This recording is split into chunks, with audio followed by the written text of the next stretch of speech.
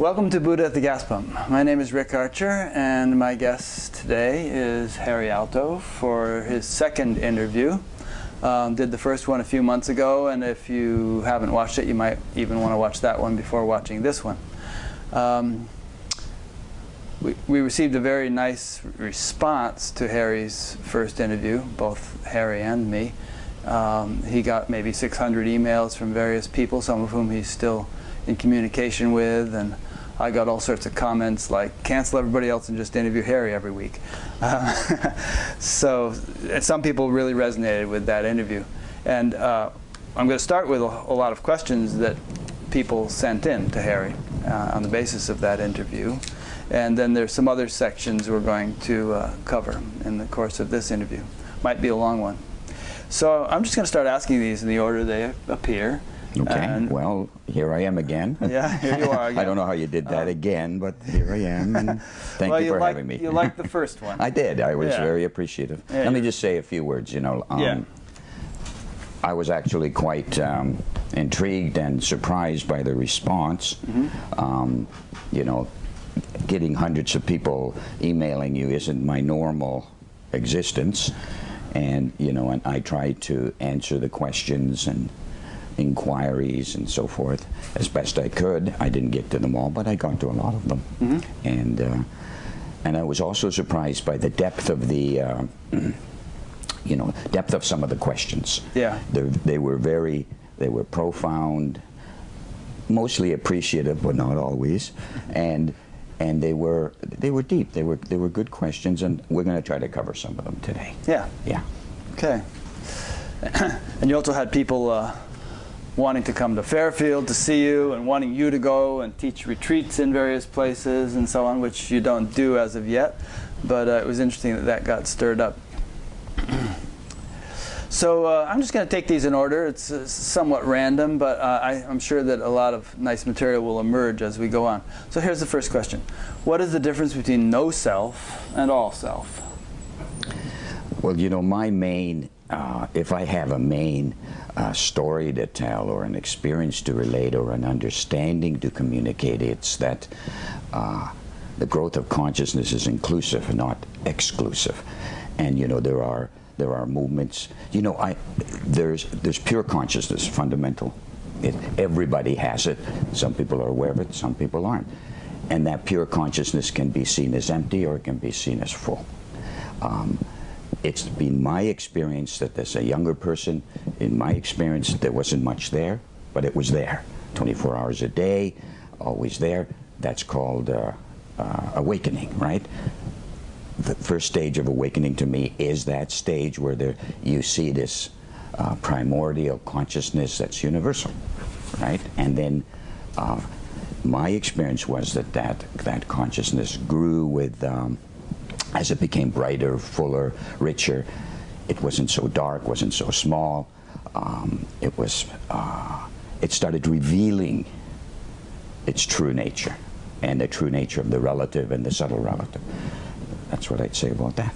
Mm. Do you have a question on that? No, but it, it, reminded me of something I wanted to say, which is that in the last interview I introduced you as being possibly the most articulate person I had interviewed. And I objected to that, yes. Yeah, and afterwards I thought, no, articulate isn't the right word. I've, I've interviewed plenty of people who are incredibly articulate. Yes. You know, they're experienced Very teachers, intellectual, very sequential. Writers. Yes. Yeah. Yes. But um, I thought of a metaphor to perhaps distinguish you from a lot of the people out there, which is that, you know, most of the people in the world think that I am a wave, and I see myself as separate from all these other waves. And then teachers come along and say, you're not a wave, you're the ocean. And, and some people realize that experientially, oh yeah, I'm the ocean. And then other teachers, I'd say a little bit more nuanced, say, you're, you are the ocean, but you're also the wave. You're both, you know, individuality and universality. Now what you're saying is, okay, yeah, you're the wave in the ocean, but look, within the ocean, there's all kinds of detail. There's fish and whales and seaweed and crabs and all kinds of stuff going on within the ocean. And you don't hear too many people, I'm obviously using a metaphor here, but you don't hear too many people out there in the spiritual circuit talking that way about the fine fabrics or the fine details within the unmanifest, within consciousness. And I think that's an area in which you are extremely articulate well, there's the word. I think in that respect, you are articulate. You know, you, you can say a lot about that stuff. Well, I, I'd like to add here that none of these fish or whales or squid, whatever swimming around in the ocean, uh-huh. eliminate the ocean. The ocean I experience just like many, many people do. It's an unbounded field of consciousness. It isn't disturbed by anything. It's there. It's always there. And perhaps in my last interview, you might have. Uh, you know, thought that I was only talking about the structure or the uh, or the details of it, but I'm, I'm not. I'm talking about the whole phenomenon. The ocean will never be anything other than an ocean. What's in the ocean, and you know, some people think there's nothing in the ocean, and that's true on one level. There's nothing in the ocean. If you talk about the absolute, pure unbounded silence, it's pure unbounded silence in my experience, there's an experiencer to that silence. And when it's when there's an experiencer, somebody saying, "Well, I, I have this experience," that experience is already something. It's some fluctuation, however silent. So I'd like to make that point. The ocean is always there. I recognize if somebody has the ocean, that's the fundamental, first, and most important experience of, of wakefulness is being aware of that ocean of consciousness. Absolutely. Yeah. And we'll get into some questions about yeah. this later, but some would say if you're if you're kind of getting hung up on all the details of you know angels and subtle beings and subtle levels and all kinds of stuff that's going on, which is what we're referring to when we talk about fish within the ocean, you know, the, yes. the subtle mechanics of creation, then you're kind of regressing because you're getting caught up in stuff which ultimately is Maya, ultimately is illusory. You know, you should if you're really settled in enlightenment, then you don't care about all that stuff. You're just down to the foundation bedrock of creation and you reside there mm-hmm. with without any. Yes, but yeah. nobody's talking that that ocean goes away. Right. The point is that the ocean is there along with all this other stuff. Mm -hmm. The point is that you're not sitting there like Buddha with a big belly. you're also with eyes open having the same experience. Mm. The same experience of that unbounded ocean of consciousness along with everything else. Um, a person who uh, has a fully developed consciousness doesn't suddenly not see the daily relative. Drives a car, stops at a red light, doesn't drive through the red light, stops because that's the thing to do, right? Yeah. Self-preservation is still lively. Now, pure consciousness, if you look at it from just the level of pure consciousness itself, you could say that, you know, I, I said this analogy last time, when it's clear, when it's full, it's like a it starts like a flashlight and ends up like a floodlight and then turns into an illuminated field of consciousness that that shines on everything and gives it its full value. It doesn't go anywhere. It's always there.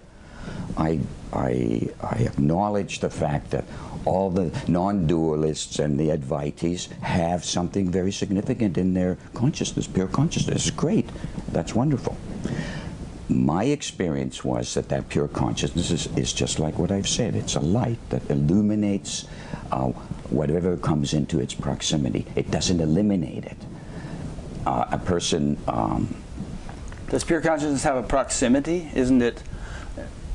I said whatever everywhere? comes into it. That's a figure of speech. Okay. Okay. Pure consciousness is everywhere. Yeah. But so is the fluctuations of pure consciousness, the subtle relative, and even the gross relative. It's everywhere. Mm. It's a universe. Yeah. It's all one continuum. And yes, it's all one level of consciousness seen by people who are traveling towards it, as it were. Now, some, somebody might say there's no path. And ultimately, if you want to put it, look at it holistically, there is no path. On the other hand, we all are moving towards something. If if um, if somebody wants to eat something, they have to go to the grocery store and they go buy it. It doesn't matter if you have pure consciousness or don't have pure consciousness. You have to go to the grocery store to get the food. Mm -hmm. We call that a journey. Consciousness is like that, right? It's you you moving towards the recognize, recognizing something that's already there, right? I, that's true. Mm -hmm. That's been my life. Um, there's always that there's always that sense when there's a new experience or a new level that it's always been there. There's always that feeling there. Now, the only thing that my experience has been that every time I, I see something, say it's a celestial level, as long as that celestial level or the devas or gods or goddesses, whatever you see, doesn't obscure the pure consciousness, it's a valid, good experience. If all you see is the subtle relative, then that's not good. That's like being lost in the gross relative. Same mm. thing. It's all in reference to the self, in reference to the wholeness of the experience. Mm -hmm. Right? Okay. All right. Let's go on. What do you feel is the main benefit of self realization?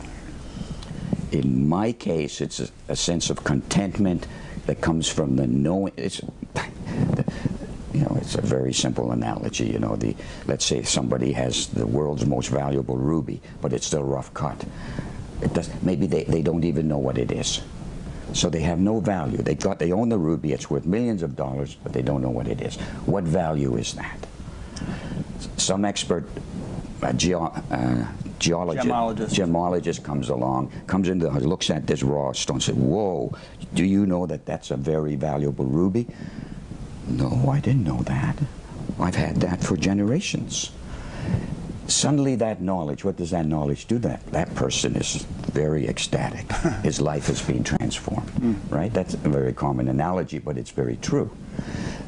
So, so what I'm saying is that is that the understanding of the reality of your own experience, the understanding that there is this field of consciousness that can illuminate the gross relative, the subtle relative, everything in your life can enhance it. That knowledge alone is worth having wakefulness for. It's quite apart from the fact that makes you happier. can one person help wake another person up? Well, I kept I had a lot of people say, "Help, help!" You know, give, yeah. can can you do something for me? And in the same way that I'm, you know, we're talking about understanding and knowledge, how understanding enhances experience that's already universally available. Yes, understanding can help, but everybody, everybody's different, right? And and people ask me, so so if you're having all those experiences, why don't you, you know, uh, change the world? Why don't you enlighten this person? Why don't you do this? Um, think about it for a second. If there was such a human being on earth who could, let's say, let's say you could enlighten me, that would upset the entire fabric of creation. All it, it would probably what? If there was a healer on earth who could heal everybody, that'd be the end of civilization as we know it. Everybody'd get healed. And it'd be lines up going around the world to see this person. But that's not how it is. We have our own lives to live. Now, miracles, as far as I can see, are fortuitous events that happen at the right time to the right person. They don't happen randomly. I can't suddenly say, hey, Rick, you're awake. You? and you say, oh, thank you, Harri. That's wonderful. But nobody has had that. The, the rishis, the gurus, the greatest people on earth haven't had that ability. Yeah, but um, okay. there are, a great many famous and some not so famous people who seem to have a knack for uh, being catalysts to others' awakenings. You know, many people awoke in the presence of Ramana or Papaji, or some of the contemporary teachers, Adyashanti, Pamela Wilson, you know, various people um, have a pretty good track record in terms of catalyzing or facilitating uh, spiritual awakenings among those who come to yes, see them. I agree with that. Yeah. Let's let, uh, pure consciousness is universal. It's in, around, through everybody. You can't, it's there. Some people are aware of it, some people. So, so let's say a person comes along who actually has this experience and he begins to describe it. Let's say you're close to that experience, but you don't know what it is. It's there. You know, you, don't know it's there, but it's there. So the, the right person comes along at the right moment and starts describing it to you. So suddenly the, the, uh, the jewel, the, the that was that's in the rough stone is described to you as as what it really is. Yes, you can. Oh, yeah, I get it. I get it. Mm-hmm. That can happen, of course, and it does. But when you talk in terms of description, that has more of an intellectual connotation. You know, you're clarifying somebody's intellectual understanding. But how about the transmission quality? You know, but that- that's that what I'm saying. From An, an awake person does does not talk intellectually. Mm-hmm. He talks. he may, he may give lectures and talks Yes, but it's not intellectual. If, he, if, if the person is awakened, he speaks From his the- experience. From his experience. right. So, And so what, what I'm saying in terms of what he can convey to others and how he can convey it, he can use words. But you know, a lot of teachers say, "Well, it's my silence which is the real teacher here. My words are just sort of filler. And what, if you're getting anything from me, it's because of sitting in my presence. And there's a kind of a, a contagiousness to uh, the sitting in the presence of an enlightened person, a transmission, which is supposed to be conducive to awakening. if a person is awake, his speech is the speech of enlightenment. It's not just a transmission of an emanation. His speech is the same. Speeches um, can convey the subtleties of, of pure consciousness, of awakening to somebody else, of course. Um, but if that person isn't in the right uh, at the right time, in the right moment. Otherwise, a, a, a teacher like that could enlighten everybody. They can't. Well, yeah. I mean, obviously they can't have seven billion people in their immediate presence, Or even and, 10. And even if, or if they, and if they have ten, let's say, those ten are going to be at varying degrees of receptivity. That's my point. Yeah. Yes. Uh, well, like Amma used the example of, um, you know, a, bur- a log that's burning brightly can kind of ignite other logs if they come close to it. And you know, maybe one log is dry and ready to burn, another log is kind of waterlogged and soggy, and it's not going to ignite very easily. But you know, if a log has the readiness to burn, it's there's a greater likelihood of it igniting in the in the immediate presence of an awakened person than if it's you know just off someplace without without such a person to to sit with. I do have trouble with uh, um, saying that all you have to do is sit near a person and that person will get. Okay, that's Yeah. That's a little bit far fetched. And most of those teachers don't say that either. They, That's right, You know, some of them say, "Well, you you know, I can only do so much." Yeah, you gotta yeah, practice. yeah. You got to do something. You got to practice. Do do some meditation. You have to be ready for it. I mean, you. Yeah. Okay. Yeah. I think we're in agreement on that. Okay. Okie dokie. Um, how is it possible to be eternal or experience infinity since everything seems to be ending?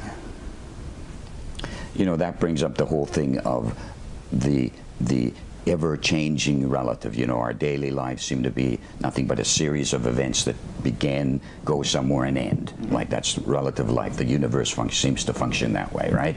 There's a beginning a middle and an end. Now and then this whole concept that many uh, organizations or spiritual movements talk about that it's all an illusion it's all why go there and in terms of a person who doesn't have pure consciousness, I totally agree.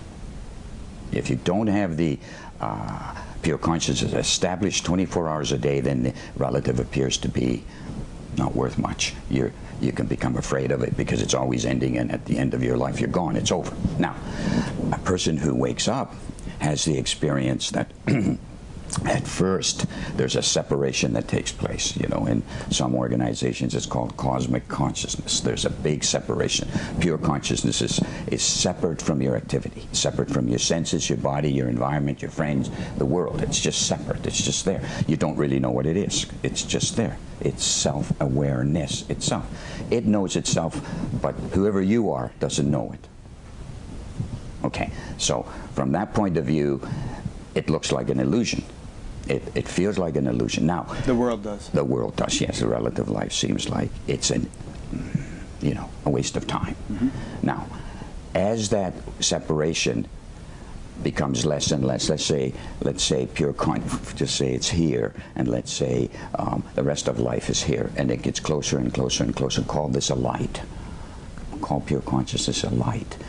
It begins to, you begin to rec- this is the kind of you here and it gets bigger and bigger. This doesn't really not this is not really happening because it's already happened. You're already one state of consciousness but you're realizing that. And as you realize uh, the fundamental uh, experience of pure consciousness it, it begins to unite everything on the understanding deep deep understanding level first. Okay there's a growth of consciousness in terms of the illumination or the or the or the expansion of the self. The expansion of the self means that uh, the changing value of the relative begins to be known in its non-changing value. There's a non-changing value you know, remember, mm -hmm. the pure consciousness is everywhere. Right. It's not just here, it's everywhere. Now, the trick is that, or what certainly has happened to me, and certainly has been my experience, that neither of the neither the experience of pure consciousness or the experience of of daily life relativity, neither of them actually change in any way. The absolute doesn't turn non-absolute. The relative doesn't turn uh, non-relative. It continues to appear to change. The illusion is that there's the appearance of change. It's an illusion. It's an appearance. It doesn't really change. Even the relative doesn't change because it's permeated by pure consciousness, infinity, the absolute.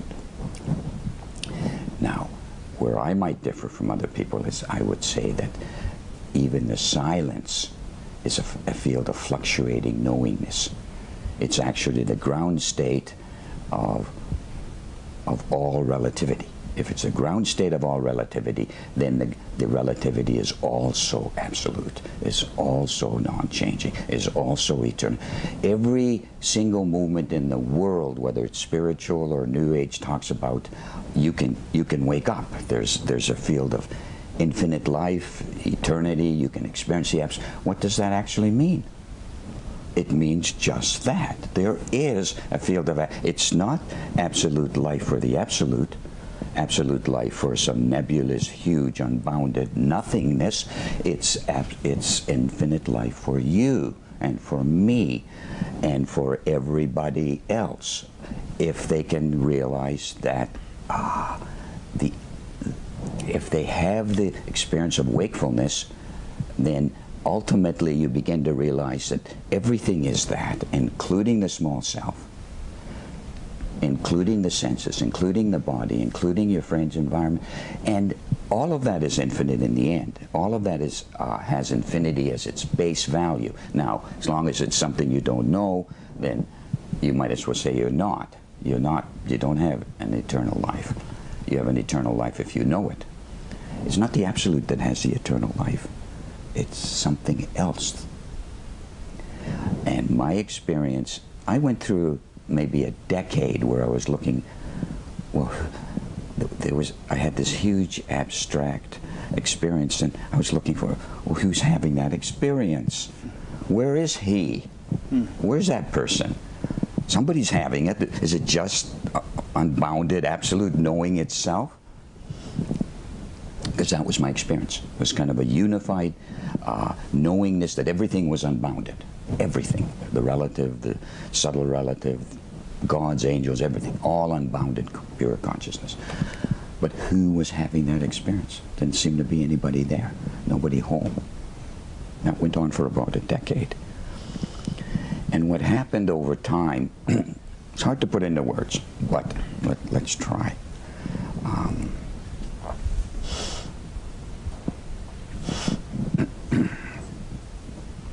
that unified abstract experience started turning uh, more concrete, more physical. Somehow, can't tell you how, but my senses began to, began to function and move within that absolute without coming out. It didn't disturb that absolute consciousness, that absolute fluctuation of wholeness. Even the senses did not disturb that. And soon as that, even I had an inkling of that, I said, aha, that's where the eye is. That's where the big eye is, the little eye is, the middle size. All the, the knowingness that I've had for all these years actually has a center. has an experiencer. And, and I, I realized in a flash and had the experience that between, this is his words now, between the absolute and the relative is that, that, that, that experiencer that holds them together and holds them apart. Sees the absolute, sees the relative. At that point, when the when the knower, my knower, your knower, you are a knower, and, and there's a kind of a point value personality there, as well as a universe. All this, it, that knower, as if ties the entire experience of togetherness. The all the layers of creation suddenly say, "I am that." They all are that. So that nothing is excluded. The experiencer says, "I am pure silence." I'm also pure dynamism. At this point, the the relative life, daily life, takes on the same quality, even though it remains exactly the same. On the understanding level, sensory level, experiential level, the daily life takes on the same value as the absolute while remaining regular life. No longer seen as an illusion, seen as the full fully glorified aspect of the self, one of the fully glorified aspects of oneness. There is, there is one state of consciousness, I agree with that. But that state of consciousness recognizes and is all the different layers as well. I don't know. This reminds me, um, last couple of weeks I've interviewed a couple of physicists. One was Yes. Peter Russell, and he wrote a book called From, what was it, From uh, Science to God. And then last week, uh, Bernardo Kastrup, who wrote a book called Why Materialism is Baloney. and uh, and with both of them, the discussion came up about the mechanics of creation. Okay?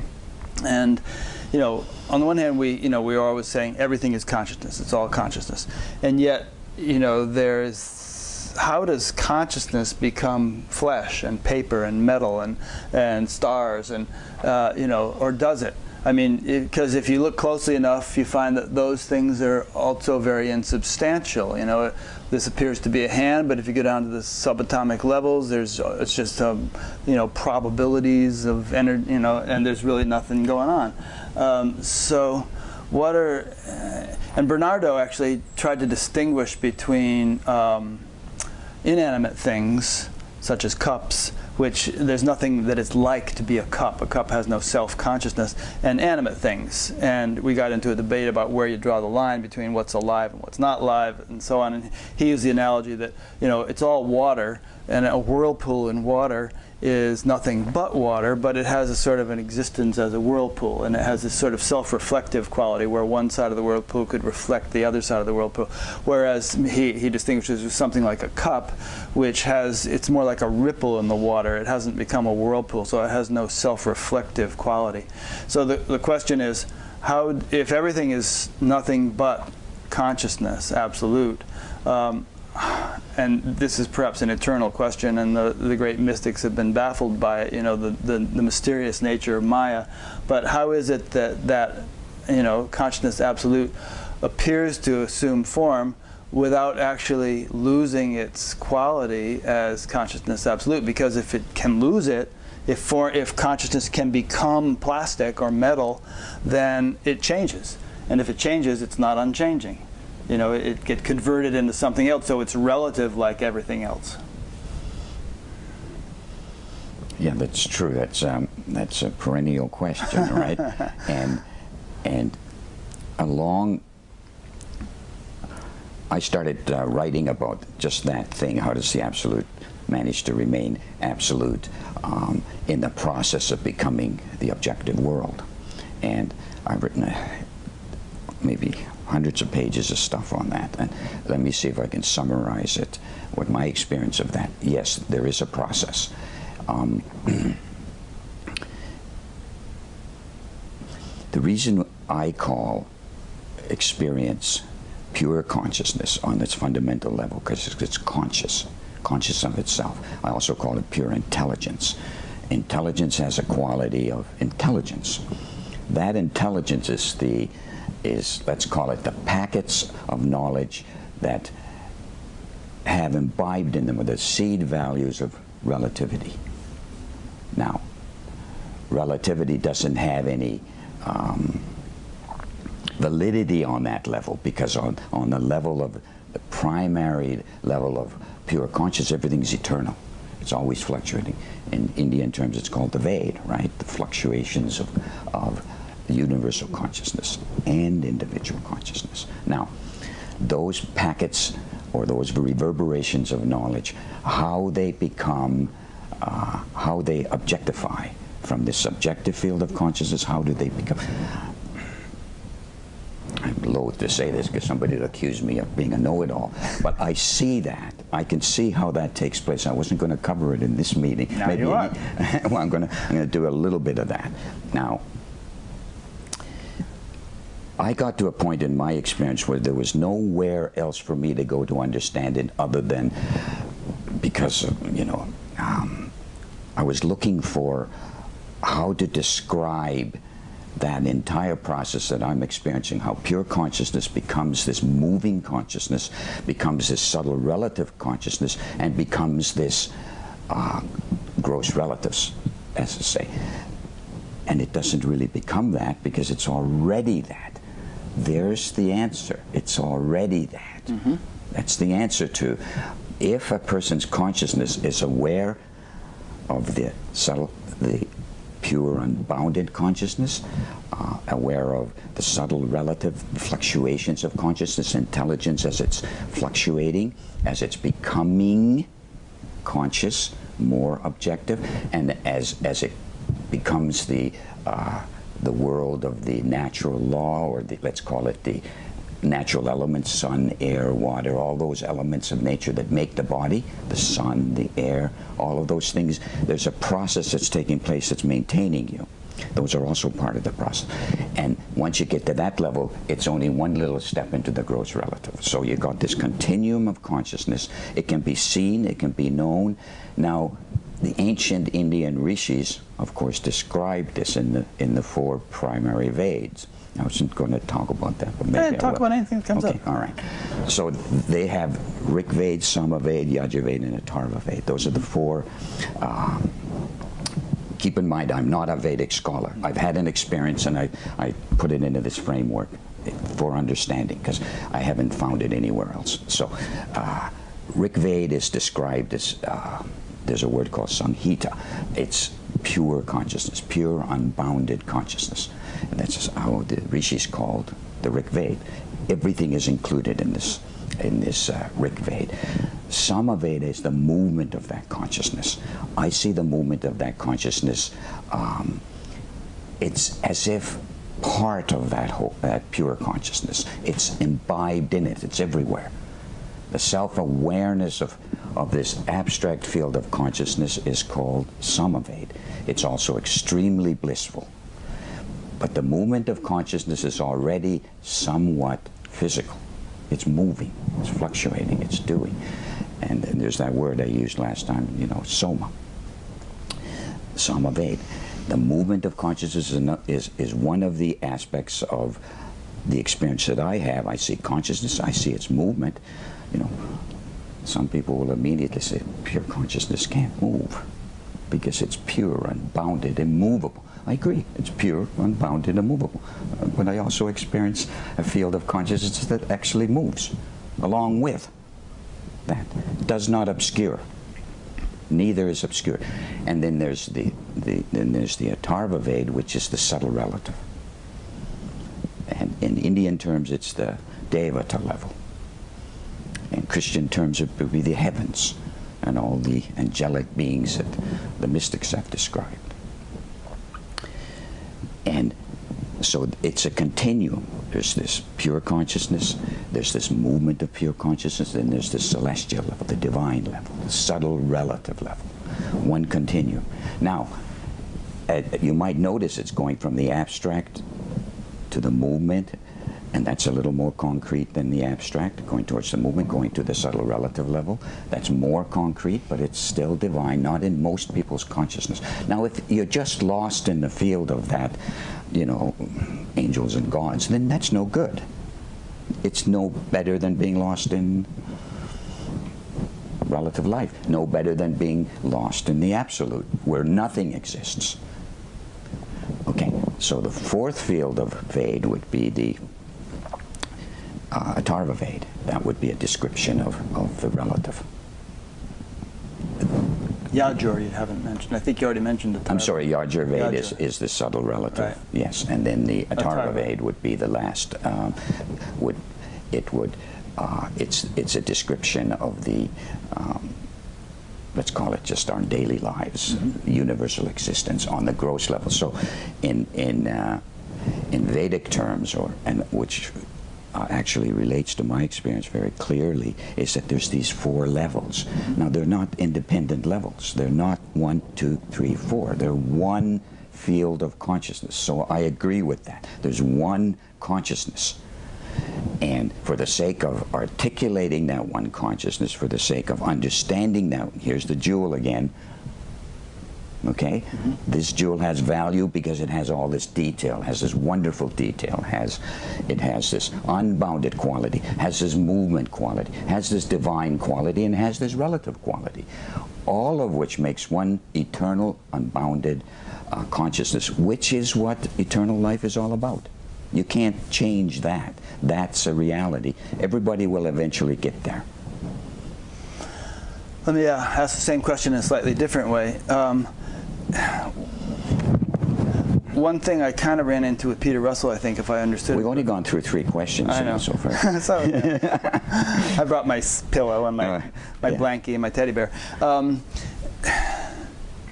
the, the, the quality of intelligence, I mean, um, long before there were living beings who could have discussions like this, there was an evolving universe, if the Big Bang Theory is Yes, correct. yes. And stars were getting formed, and stars Yes, were exploding and reforming, and heavier elements were getting created. But if there had been anyone there to really examine it closely, they would have seen that uh, all these processes were um, being carried out by very um, profound and precise laws of nature, gravitation and electromagnetic, you know, law, you know, all the laws of nature Yes. that physicists currently understand. So it didn't take any kind of, uh, you know, biological life to conduct, to understand all that. And even now, you know, things happen in the world without biological intelligence. There's an intelligence governing creation itself. And biological intelligence is just one expression of that. So what fascinates me for some reason is uh, that whole issue of intelligence. Consciousness, the word consciousness has kind of a plain vanilla connotation. It's like this flat, you know, nothingness. But but it's far it's so much more than that, obviously, if we look to the display of it in creation. There's there's just so such infinite intelligence in, you know, governing every tiny particle and every vast you know galaxy and everything in between. It's one seamless orchestration of of intelligence everything infinitely related and infinitely correlated. So how does that kind of relate to your experience of the actual mechanics of what is going on? And what what is this intelligence both in its universal value and in terms of its individual agencies it, the expressions of that intelligence which uh, which conduct the manifestation and governance of creation. So, that's a pretty heavy question. Well, I want a heavy answer. Um, you say, where's the biological uh, component to this um, apparently, you know, mechanical, almost random? No, no, no, not random. Nothing's random. All right. And and and and biology is just a, a kind of an offshoot of a much vaster intelligence, which exists whether or not there's any kind of biological expressions. You know, wh- whether there's human beings or, or newts or anything else, there, the universe is this sort of beautiful display of intelligence. And you've described to me in, in the past, you know, experiences of deep laws of nature that are actually um, responsible for the, the whole the whole show. Well, that's what I was going to get to. Is Yeah. that that as soon as you say consciousness, as soon as you say intelligence, I immediately have the experience that of um, let's call it cosmic biology. okay? Let's put the word God in there for a moment. Mm-hmm. And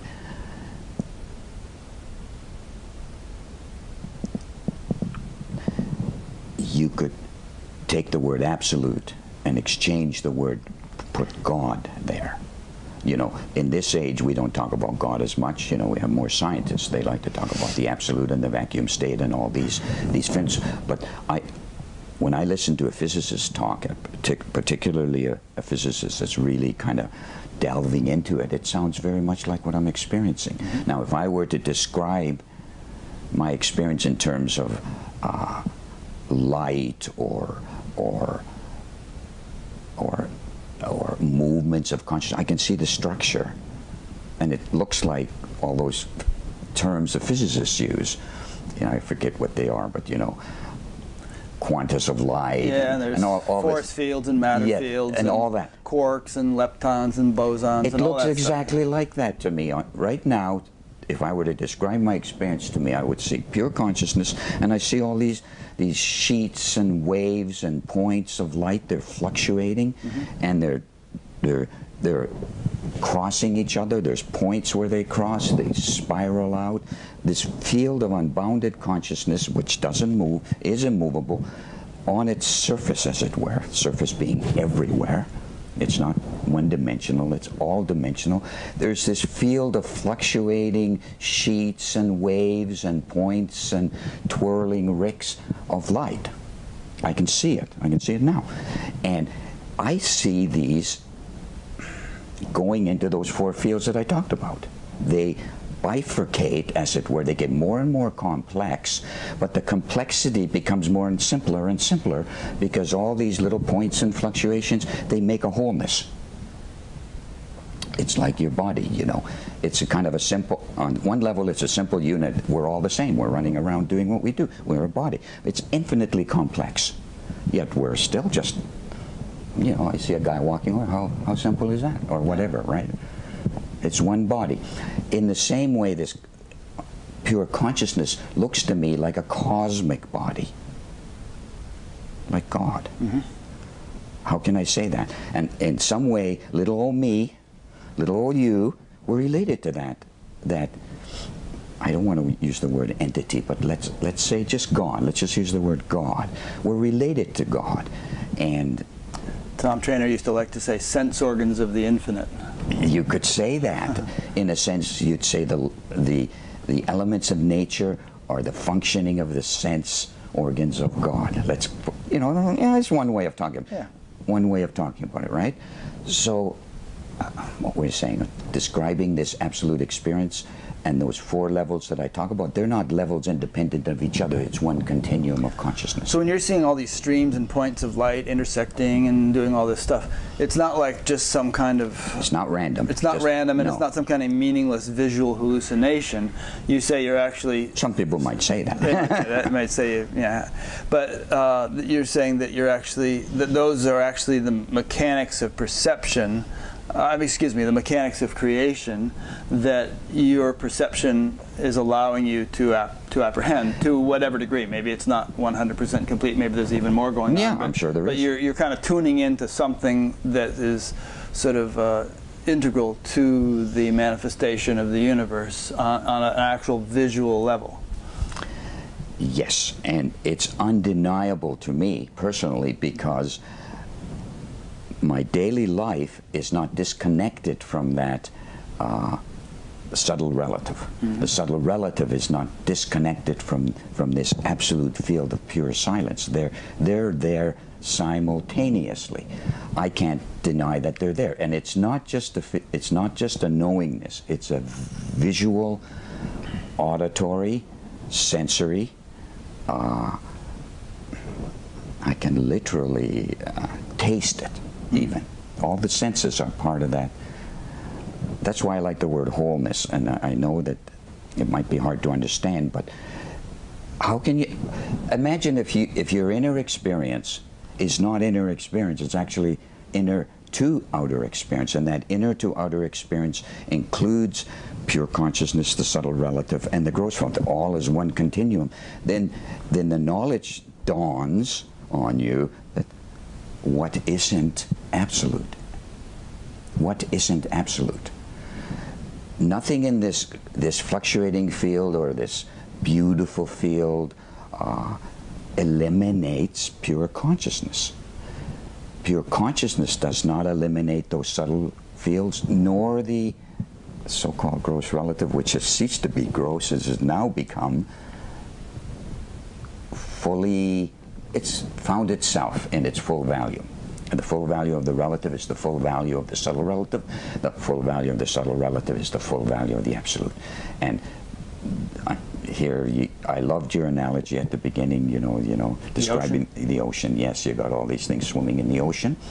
The ocean is not disturbed in any way by all this stuff, and they're not distractions to the wholeness. Quite on, quite on the contrary, what I found, my experience evolved over 40 years. It didn't happen overnight. Every time I had a new experience, and maybe I'd get lost in it for a little while and say, "Oh, this is so beautiful. This is glorious. Whoa, man!" But it, it was like a puzzle, another puzzle piece. And and what happens when you see a puzzle piece put into a puzzle? You see a bigger area, right? So it reveals more of the puzzle. The, you see more of the scene what, or whatever the puzzle is, and then you, there's five pieces missing there, and you suddenly have this experience, or you find the puzzle piece, put them there. What happened? Well, suddenly there's a panorama. So, in a sense, all of this, after a certain point of um, clarity of consciousness, everything that happens expands the field of unboundedness, and of course, it's already unbounded. But since my physiology and my senses and my body's only having a certain amount of that, it can keep growing. Well, you know um, how to how to put that. Well, like you were saying at the very beginning, um, you know, the infinite is is already infinite, has always been infinite. Unboundedness is all, but it's a matter of how much we can appreciate it, and you don't necessarily go from A to Z in one you Yeah. know, second. That's right. It's a it's a, a progressive Yes, yes, growth, yes, yes, and yes, there's yes, always more to appreciate. yes. You, let's let's take a few more questions, since, so I don't get a million questions. Why didn't you answer my question? Okay. All right. Um, I think we may have answered this one. What is this illusion that everyone talks Yeah, let's about? let's Skip leave that, one alone. Yeah, Um, and I think maybe the next one, describe what it means to be awake to pure consciousness. I think you've already done that. we've done that. Yeah. Okay, well, let, but this, let's touch on this one just a little bit more. Okay. Why do you always talk of subtle layers? Are they Okay. not just another form of illusion? Yes. And they are another form of illusion if that's all you're experiencing. Yeah. In So other words, if if- you're hung up in them, If you're hung up in a celestial or some uh, or some angel or God or something, and all you have is that experience, or or or you have some psychic power, or you whatever, and that's what you have. Pure consciousness is not there, but this this wonderful or not so wonderful experience is there. If you're lost in that experience to the exclusion of pure consciousness, yes, that's that would be the same as, as being uh, what running around the relative and not knowing the uh, not having that experience of pure consciousness same thing on the subtle level And it seems that by the same token, you can get lost in the absolute. Uh, and there's a, there's a phrase in the Upanishads which says, "Into blinding darkness go those who worship." Uh, how does it go? Into blinding darkness go those who you know worship the relative. Even into even greater darkness go those who worship the absolute. You know, uh, it's used in slightly different terms, but it's almost like if you become sort of a, a fundamentalist. Uh, of of the absolute, dismissing all the relative implications and levels of experience. There's you know that is just as incomplete as the people as what people ordinarily do, being hung up in the relative and uh, unaware of the absolute. If that if I'm interpreting that verse correctly. Everybody has to realize he said that not me no but you have to give full glory to the absolute, right? Mm-hmm. Because fundam- that's the fundamental experience of wakefulness is 24 hours a day pure consciousness. Okay, I'll just go through this one more time. And I do agree with you in principle, but I would never put down the absolute because that's where my experience started, mm-hmm. And and still there. That has never changed. Um, pure unbounded consciousness is a field that starts small. It's little, you know. It, it may, flavors maybe, of it. It's a flavors, it. taste. Maybe a kid kind of knows it but doesn't understand it, so that you know it doesn't mean much. And then uh, perhaps you have pure consciousness at night sometime, and you wake up in the morning and you say, "What was that? I had all this stuff." But it's dark. It's small. It's here, intermittent, and, and over time, let's say it becomes permanent. By the time it becomes permanent, you know, it's, substantial. You're walking down the street, you know, there, what is this pure, what is this thing? It's, and then uh, it gets clearer and clearer and clearer and clearer. I don't believe that clarity ever stops because there's almost an infinite distance to go to the infinite. Now, now, at some point you realize that you are that unbounded field of consciousness. And at another point you realize not only are you that unbounded field of consciousness, you're also its fluctuations, you're its second phase, its movement phase. And at some point you realize not only are you on the subtle level of understanding and experience, uh, that movement of consciousness, the even the relative, your daily life is part of the story of that consciousness. It's, and at that point you start thinking, well, there's some kind of wholeness here, some kind of knowingness that includes everything.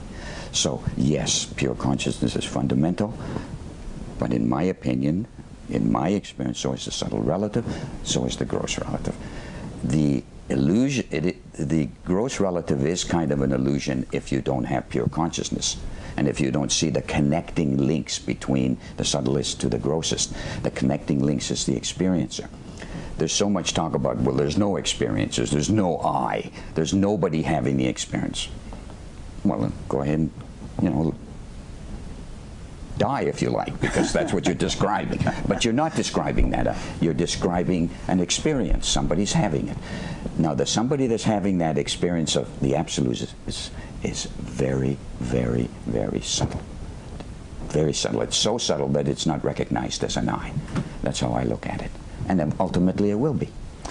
Yeah, okay. I mean, there are a lot of people out there who say there is no I, you know, there is no person, and, and so on and so forth, and, uh, and they go around teaching that way. Uh, yeah, and so you're saying that there is one, but it's so subtle that you can miss it, um, even if you're in some kind of awakened state. I mean, people who are not in an awakened state, you know, they practice self-inquiry: Who am I? Who am I? Who am I? And you know, they never find any anything substantial that they can say this is the kernel of my existence, the I, and, and you know hopefully eventually they arrive at unboundedness and they go, oh, I am that unboundedness.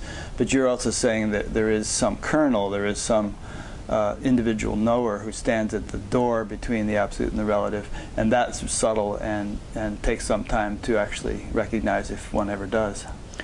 Every guru, every teacher, every uh, movement throughout time, from the ancient rishis to the present teachers and luminaries, they all open their mouth and say stuff. Based on their experience. Based on their experience. If, if the case was that nothing matters, no path, it's all unbounded, don't have to open your mouth at all. Yeah. But it's not like that. Right. It's just not like that. Yeah. On the on the day-to-day -day level, we all need a little help. Yeah.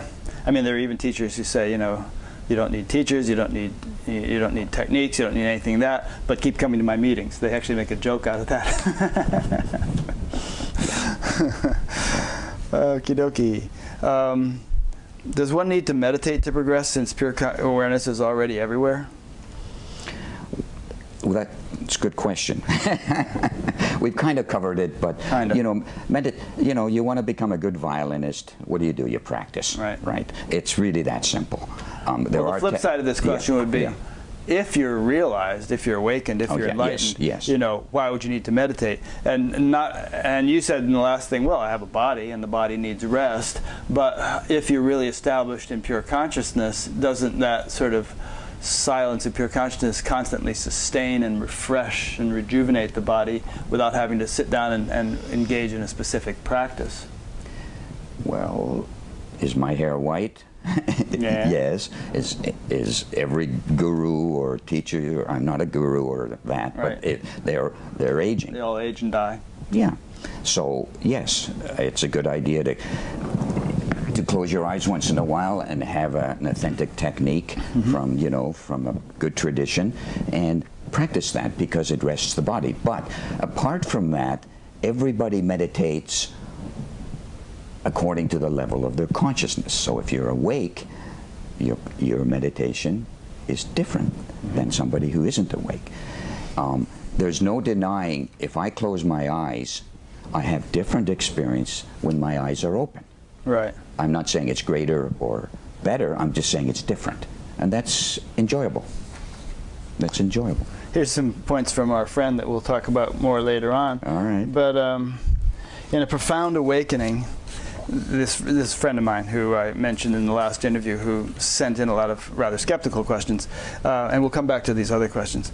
But um, in a profound awakening, there is not one shred of difference in experience with eyes closed and eyes open. No division between inner and outer. If all one's mind stream has, if one's mind stream has been stilled, which is why meditation is no longer no longer desirable or even feasible. Um, it is clearly seen and experienced that there is all there is is the self, silence, and one is that. Where would one go for more of anything? Um, every moment is meditation, empty of self will, doing God's bidding. Awakened people who meditate are not talking about a compulsive formal meditation, they are just sitting in silence, enjoying the view. A mantra is a vehicle, and once the river has been crossed, the vehicle gets discarded to want to go somewhere twice a day that is other or better than where we are is illusion. If there's an expectation of more or better or different, then we're still processing. Only the mind craves more, better, and different, and thus the seeking continues. The real reason why continuing to meditate while claiming liberation is that we feel incomplete. If further evolution is to take place, it will unfold by itself. It's not something we could make happen by formal meditation after a certain point. Uh, I think that does it. Okay. What do you say to all that?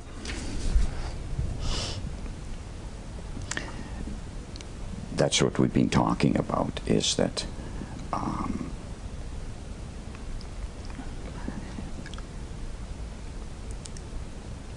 that's kind of like saying that's the opposite of what I'm saying.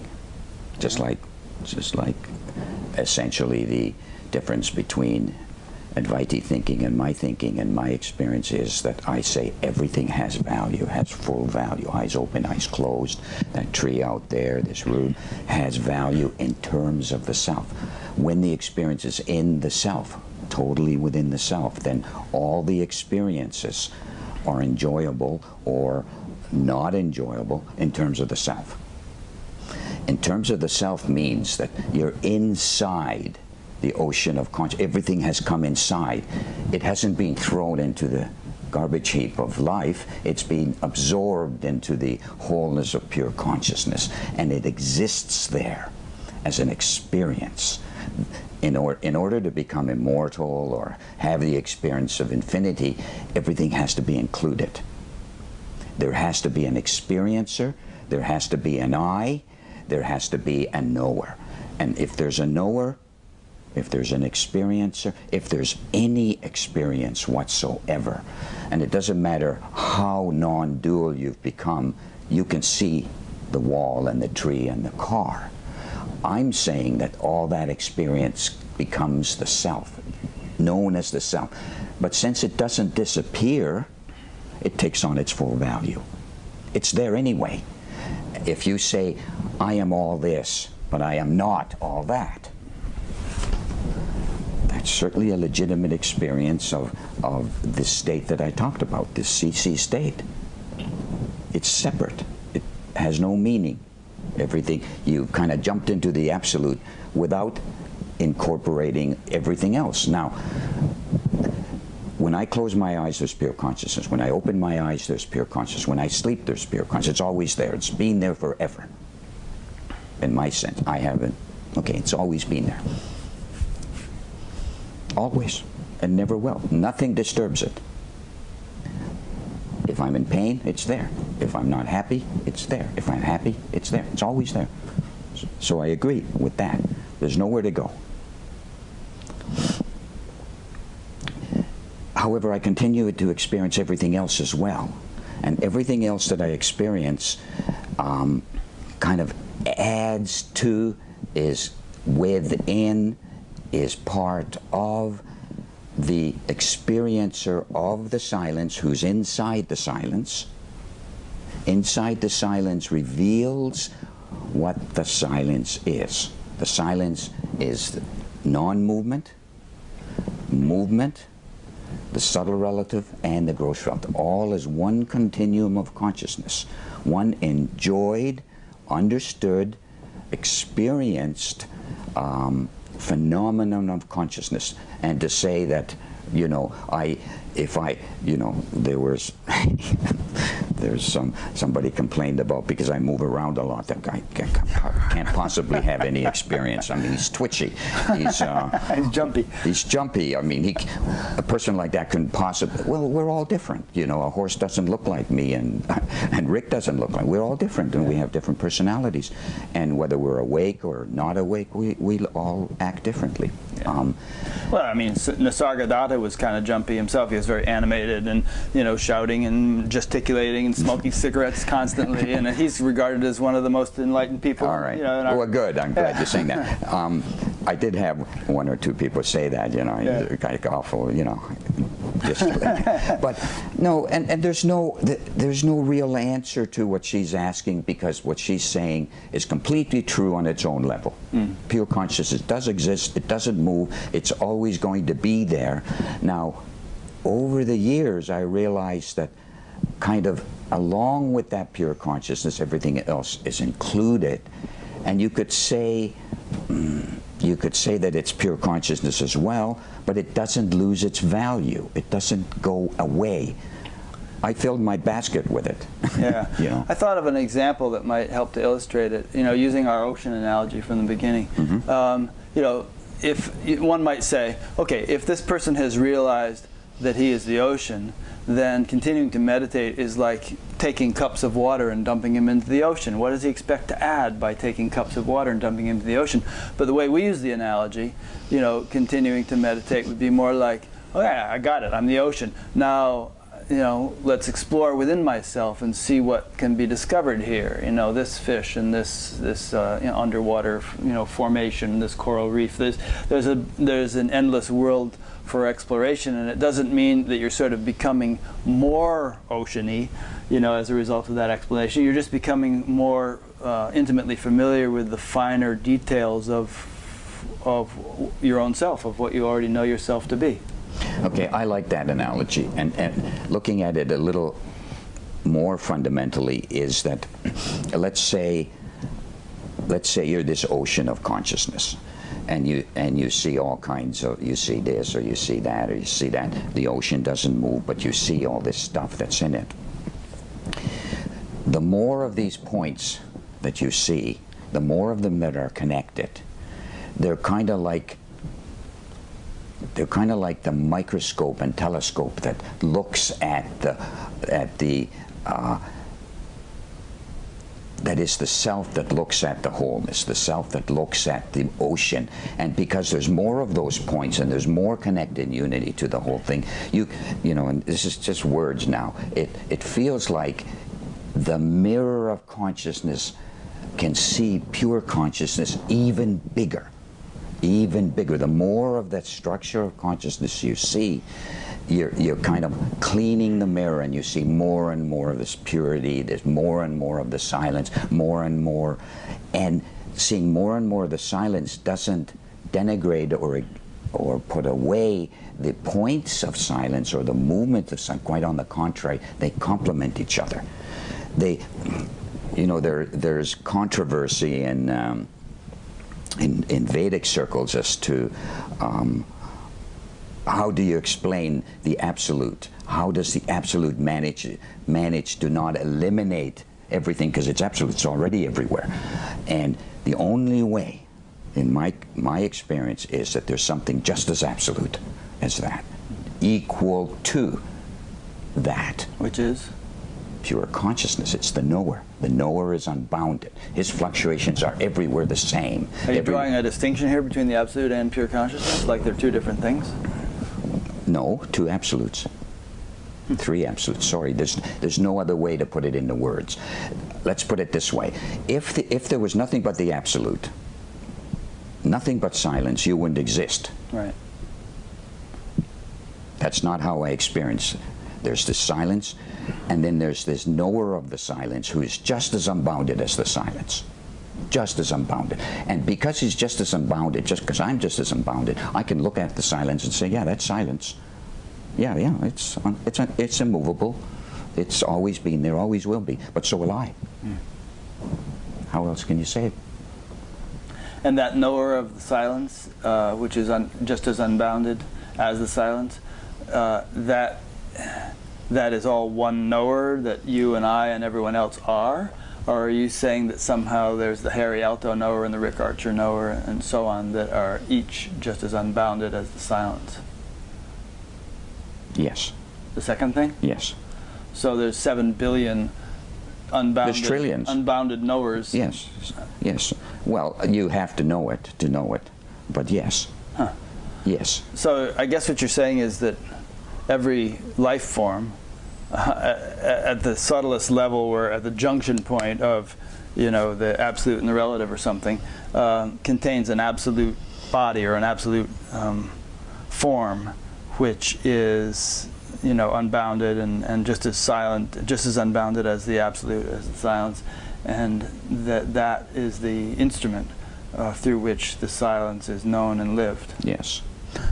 I think what I'd like to do now for the next bit is um, read some passages from posts that you posted on your blog, and uh, just you know use those as springboards for discussion. Okay. And then maybe we'll come back to some of these other Sure. questions again. Absolutely. So one of your blog posts is entitled "All-Inclusive Awareness," and uh, I just I took snippets out of these that just sort of jumped out at me a little bit. It's uh, I am no more active with eyes closed or eyes open. Also, I am no more still with eyes closed or eyes open. Do you like that? I don't know. For some reason, that jumped out at me. and that's the case. You know, this this pure consciousness, its overriding, overarching experience of pure consciousness is this immovable silence, right? Mm-hmm.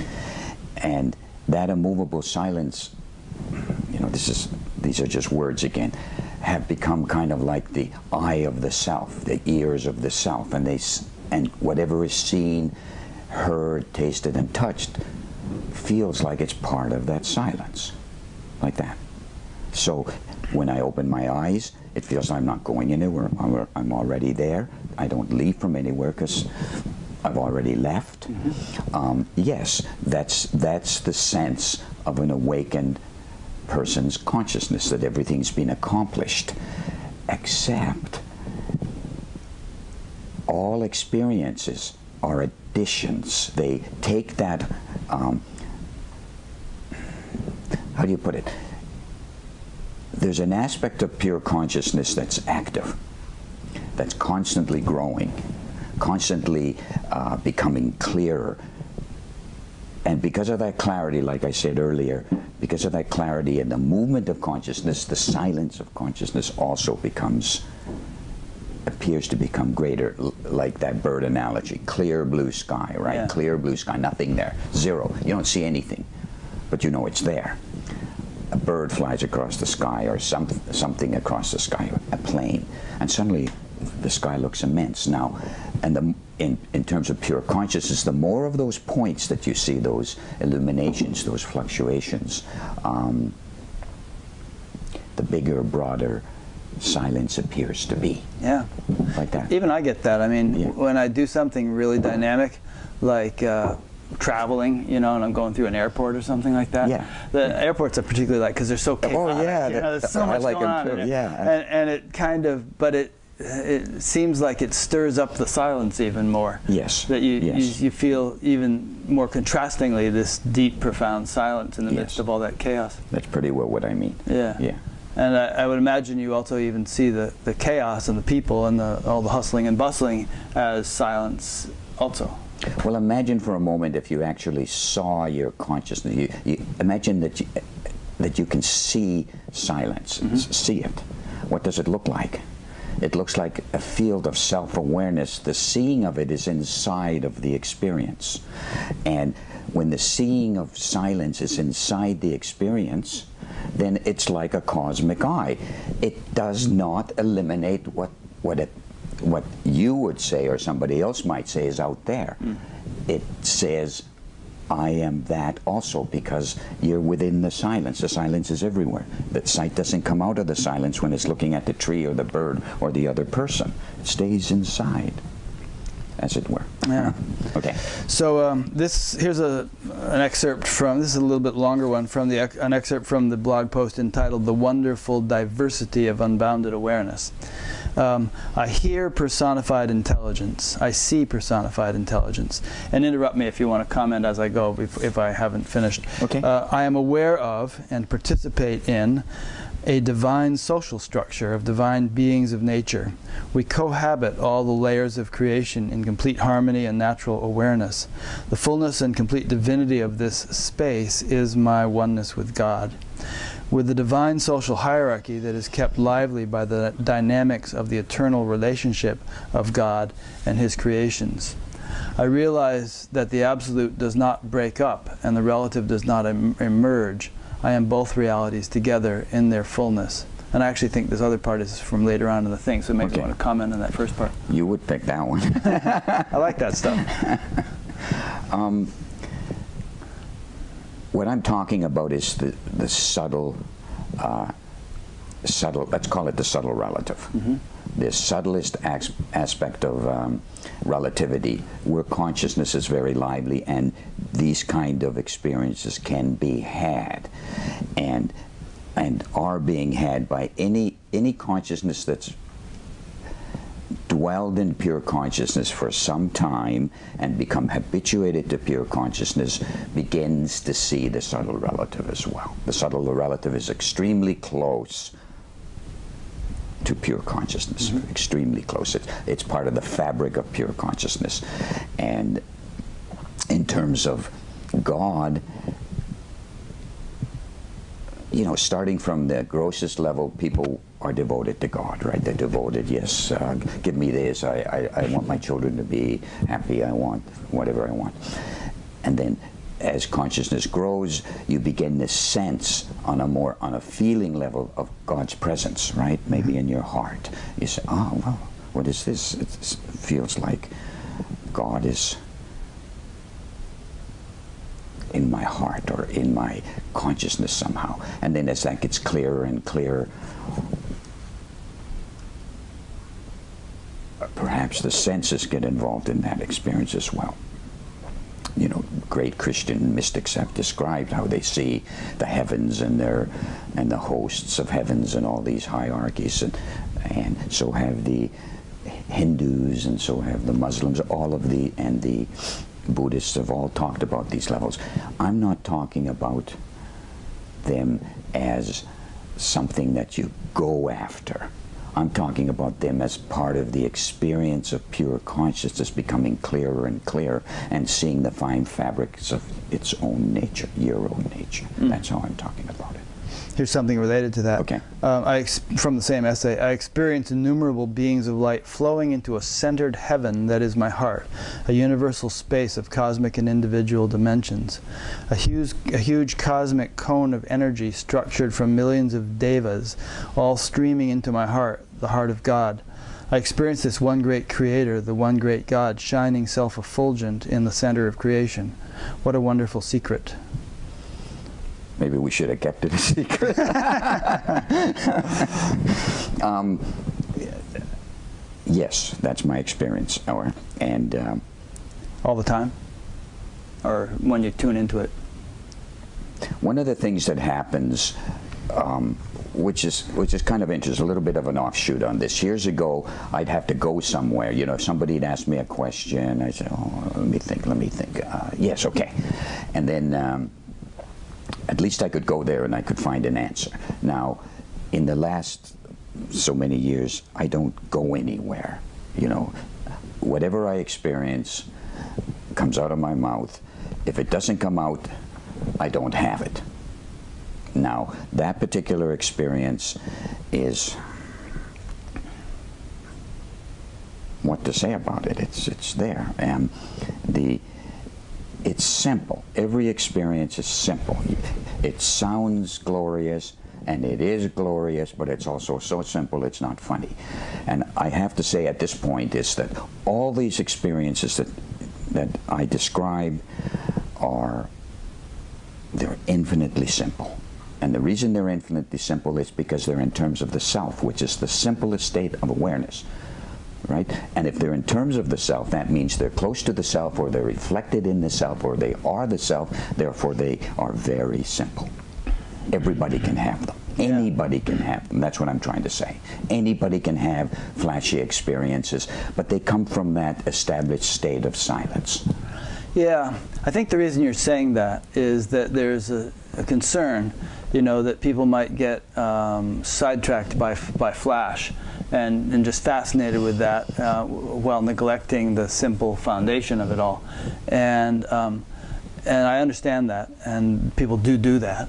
And the, but the, and the reason I bring up such experiences is that you know it's a little bit different. I, I feel that sometimes um, you know enlightenment or realization is dumbed down in, in terms of being only that silence.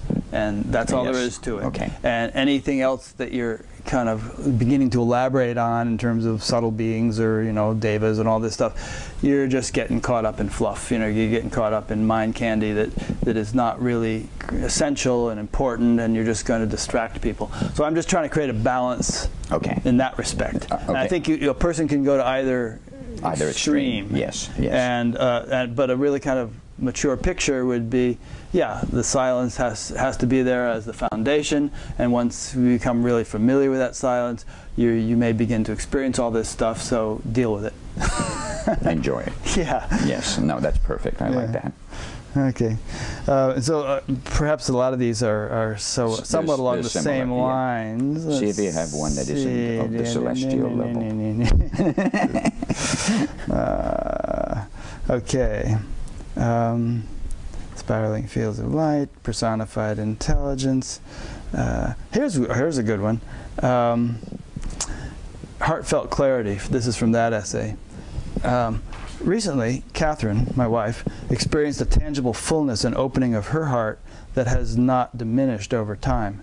Her experiences had the extraordinary effect of now revealing both of our heartfelt, heart centered physiologies in my awareness as the structure, emergence, and expressions of unbounded unity.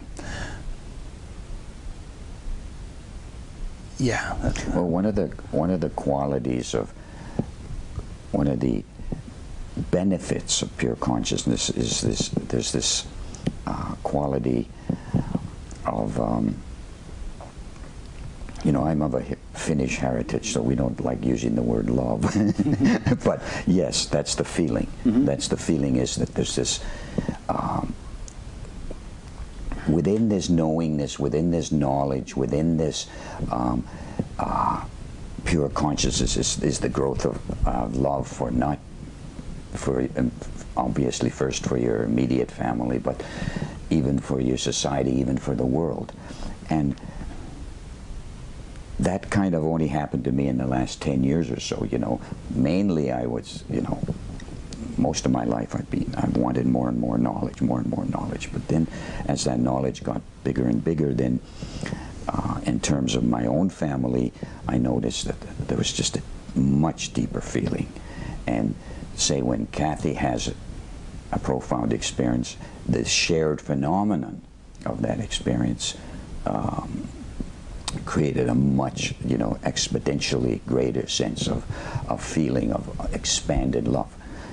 That's all that is, and and and that has grown in me. You know, the the fact that I'm out here talking to people um, means that I'm I'm wanting to share, and I've re- really never wanted to do that in the past. I loved it on the so-called mountaintop by myself. yeah. but I I, re- I can't say much more about that. Okay. Yeah. Um, well, if I read more experiences from your blog, it's going to be more of these celestial being That's type, okay. of, type No of things. problem. Because I'm forewarned. yeah, because I picked a lot of those things out. Yes. Um, so uh, here, well, here's one I haven't read. Uh, you can comment on. Then maybe we'll go back to some of these other questions. The structural intelligence, the very physicality of vibrating knowledge and love, I perceive as a highway between God and me. This solid connection, structured from universal, universal existence and all of its layers, is known and experienced as one continuum of my individual to cosmic awareness.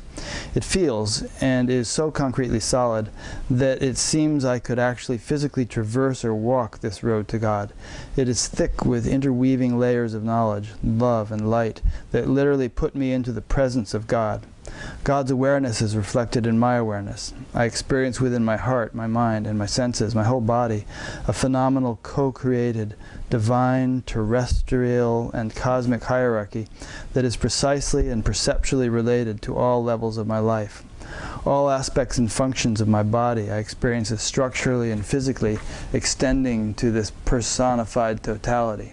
This relationship unites all emerging events into one continual experience of individual unity. I couldn't say it better myself. that kind of covers what we've been talking about in many ways, doesn't it? I think and, so. And I think the emphasis for me is that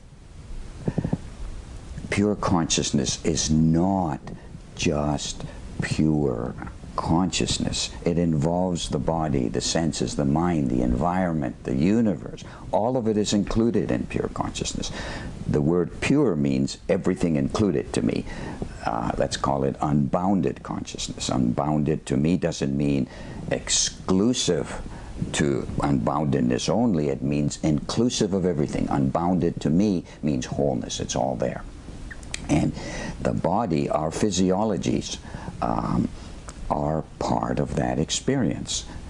And I guess many people kind of put the body down and the environment down and the gross relative. Um,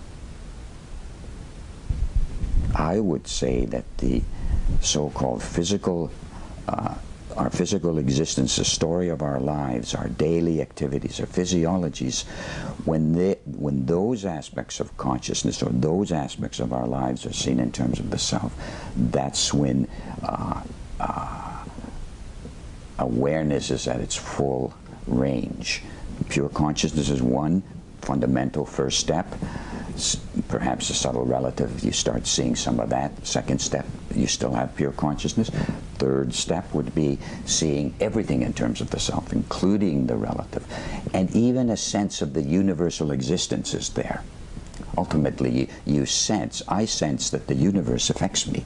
The stars, the galaxies, the moon, the sun, I, I can feel their influence, even if I can't totally see them or anything. I feel their cosmic influence, as it were. So all of that is inclusive in this huge uh, sense of wholeness that eventually evolves, and you eventually get to. Everybody gets to. Okay. Good. All right. So let's. Yeah, come back to some of these. Yes. Um, did I already ask this one? What do you mean that the senses can experience the absolute? I don't think I did ask that one. No, but we kind of covered that. But you know, that was kind of a surprise to me. You know, this is kind of interesting because I think anybody who has the experience of pure consciousness actually sees something. Only they don't think of it as seeing. They think of it as something. What is the? How do I know pure consciousness is there? There's some kind of sense that it's there. Not, but I thinking back on the witness when I first started having it. I wouldn't have said that I could see it, but I could. I now I'd say, of course I saw it. I saw it. It was there. It was a seeing as well as a knowing, and and that's what I mean. That kind of seeing, that kind of hearing, that reverberation of pure consciousness actually has a sound. The sound is the intelligence becoming manifest into the uh, into the you know objective world. So the senses get involved over time. It starts on a subtle level of feeling, subtle level of understanding, and ultimately the senses get involved in the experience of even pure consciousness. Yeah. That's what I'm saying. There's a question about uh, describing your experience right now, this minute, and how it's different uh, than at other times. But that kind of reminds me of a question, uh, which I want to ask, which is that um, you know, like a couple weeks ago, you came over to my house, and it took quite a while to give you directions to get to my house. It was sort of like uh, kind of like trying to guide a blind man through a maze or something, you know. And so, I mean, and you've told me before, like, you know, you can easily get lost driving around town or something. So, what is your actual experience that makes it sort of difficult to deal with? And you, like in that panel discussion we had a, a couple a month or two ago, you said, you know, when you got married, you needed to get married because you couldn't even manage by you couldn't write a check or anything. Kathy had to take care. So, is there a sort of a sense that you uh, kind of are so out there and, and you know reveling in cosmic realities that it's it's really hard to deal with mundane realities sometimes?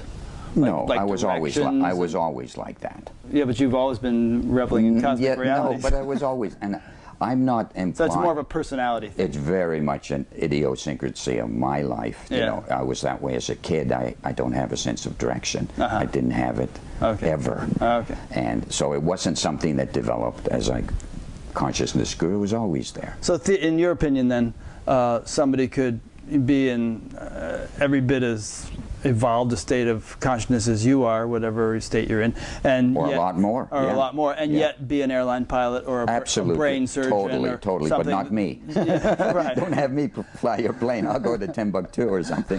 You're right into the ground. Yes. No, no. Absolutely. As a matter of fact, if that's their tendency, they'll get sharper and clearer and more direction oriented. Yeah. I went the way that I naturally am. Yeah. Okay. You so, know what I uh, mean? Yeah. Yeah. So, so just to, to, to you know beat home the point. So enlightenment uh, is not in any way a uh, impediment to functioning in the relative in a practical world.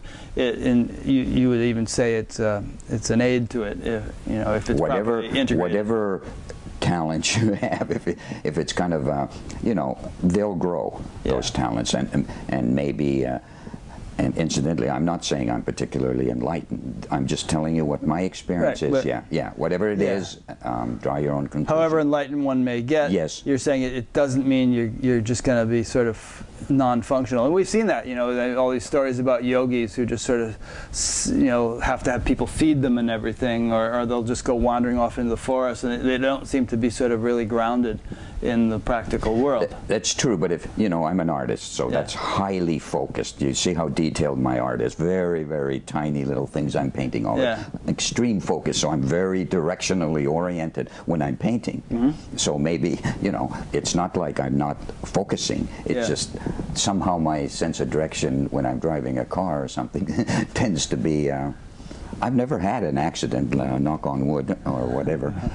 Knock so Naugahyde. it's not that I can't drive. It's sometimes, you know, uh, you know. Uh, I'm visual, you know. I look if if they remove the tree from a corner that I'm used to seeing a tree at, it takes me years to recover from that. Oh, okay, all right. Okay, good. Um, what is the function of memory? You know, memories are really interesting, isn't it? Have you ever thought of your memory? You know, you're a kid, you're a teenager, now you're a guy, whatever age you are, and everything that you've gone through is just a memory in the past. And in a sense, the future is a memory too, in, a, in, in the sense that you don't know what it is, but you, you envision it could be like this. And it's all sort of, uh, it's sort of something you remember. Now, my experience with uh, states of consciousness or states of um, experience that I've had is that when I have them, it's like I remembered to have them. I remembered to have pure consciousness. I remembered to have this unified state of consciousness. I remembered that sight is part of that. It's there's this quality to my experience, and I think everybody's experience is that memory.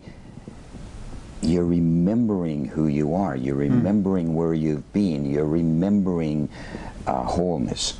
It's like it's there. So somehow you lost it. Now you've gained it, and because you gained it, it must have been a memory. Yeah.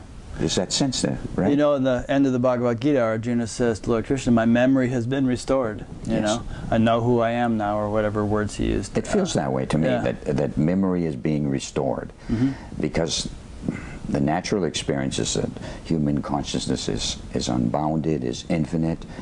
Where did it go? You forgot it. Hmm.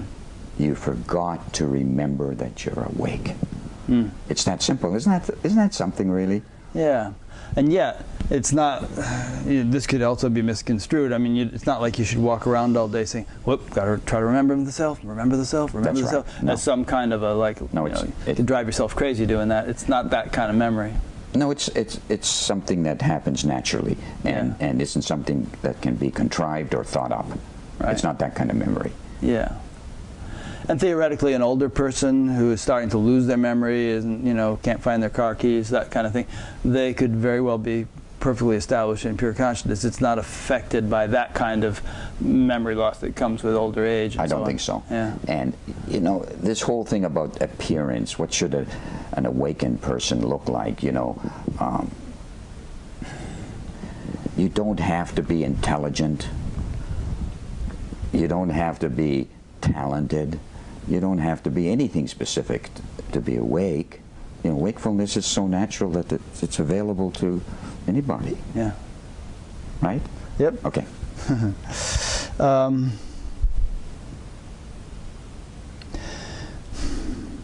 I think we. uh, Tell me if you think you want to add anything to this. How does the intellect or understanding help the growth of consciousness? That we haven't already covered. Well, I, I, I am. A, I do like the fact that that every experience has an understanding component to it. Within the experience itself, one of the joys of the experience is that you understand it, and and you get it. And when you get it, there's a sense of stability and permanence and continuity and connectedness between people and the environment when the understanding says, aha, this is all part of that wholeness. So that's what I mean by intellect. Yeah. Okay. Yeah. Um, there's a lot of teachers out there these days teaching, saying all kinds of things, and this question is pertains to that. Um, how would a person know that they are listening to the truth? The sad thing about knowledge is that, let's say you're in a high state of consciousness and I'm in a lower state of consciousness, then I will hear what you say on my level. And you will speak from your level. Now, maybe they can go together a little bit because you said something profound if I trust you. But generally speaking, the, the movement of consciousness moves from higher to lower. When um, In a but you situation. but- yes, that's the way it is. And what can you do about that other than keep speaking what you know, and and ultimately or eventually somebody will hear it, or not hear it up to their up to their lights. Hmm. Yeah. And I would say something about this question that there should be some kind of resonance with one's experience, you know? I mean, if somebody's saying something there's, uh, that's supposed to be truth, uh, if it is, there should be some kind of resonation or some kind of um, connection on the level of your experience that, that kind of verifies it for you or makes it seem right to you or something. You know what I mean? Everybody has some intuition, right? Yeah. And, and some deep in ground, even if they don't know how to talk about it. Um, pure consciousness is universal, therefore, somewhere you have it and you have intuition. Everybody has some intuition. And yes, you intuit that, yeah, this person's saying the truth. This, I want to hear more of what he's saying. I agree with that, yes. Yeah. And there's actually a flip side to that, which is that people get that intuitive aha when they listen to or read something profound. Yes. And then they think that that's basically all there is to it, is that intuitive aha. And they don't realize how much vast uh, potential for maturation of actual experience there is. we all tend to when we when we have let's say we have a profound experience everybody tends to say this is all there is, right oh I, i've made it now Yeah. Um, what is the process that lo- allows love to grow? You know you know when we were first talking about consciousness and the movement of consciousness the movement of consciousness is the movement of love. It's the movement of uh, connectedness. Connectedness means unity. Unity means um, deep feeling. So, if consciousness grows, then the sense of unity grows, the sense of this movement of consciousness, this continuity, this love is a byproduct of consciousness becoming aware of itself, and you becoming the knower of that uh, experience. The knower of that experience is the, is the being, is the individual that feels love. It's not the absolute that feels love. You, as an I, are the loving entity that uh, can communicate and talk and and and help and whatever. Mm.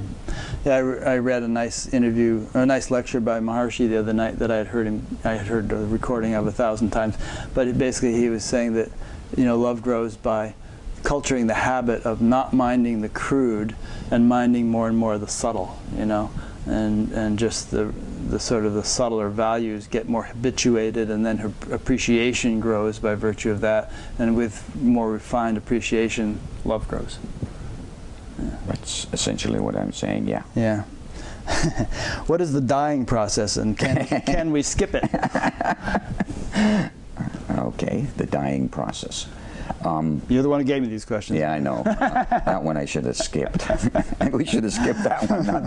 the um, the dying process is the, is the process of being born, waking up. That's what the dying process oh, okay, is. in that sense, yeah. Yes. Sure. That's what it is. Yeah. Imagine if nothing was passing, if nothing was ending, mm. then everything would die eventually. It would be there would be no rebirth. Now, mm. to me, there is no such thing as. Um, okay, if you want to talk about illusion, I think death is the biggest illusion, and and and it's an illusion because human human beings can be immortal. They can they can gain immortality in their physical bodies or on the level of consciousness. There are many levels to the body. Hmm. Okay, and ah, good point. Right. So. Um, well, you were talking earlier about some kind of unbounded level of the individuality that interfaces with the pure silent. So presumably it's not only unbounded, but it's eternal. I'm not a big advocate of that the absolute is the experiencer of unbounded infinity. I'm a component. I'm a proponent. proponent of that the individual on on the subtle level um, can be and will be and is eternal. Hmm. Okay? On a, an individual has now an individual in the sense that it's an awake individual. Right. That means immortality to me. That experiencer will never die. Mm-hmm.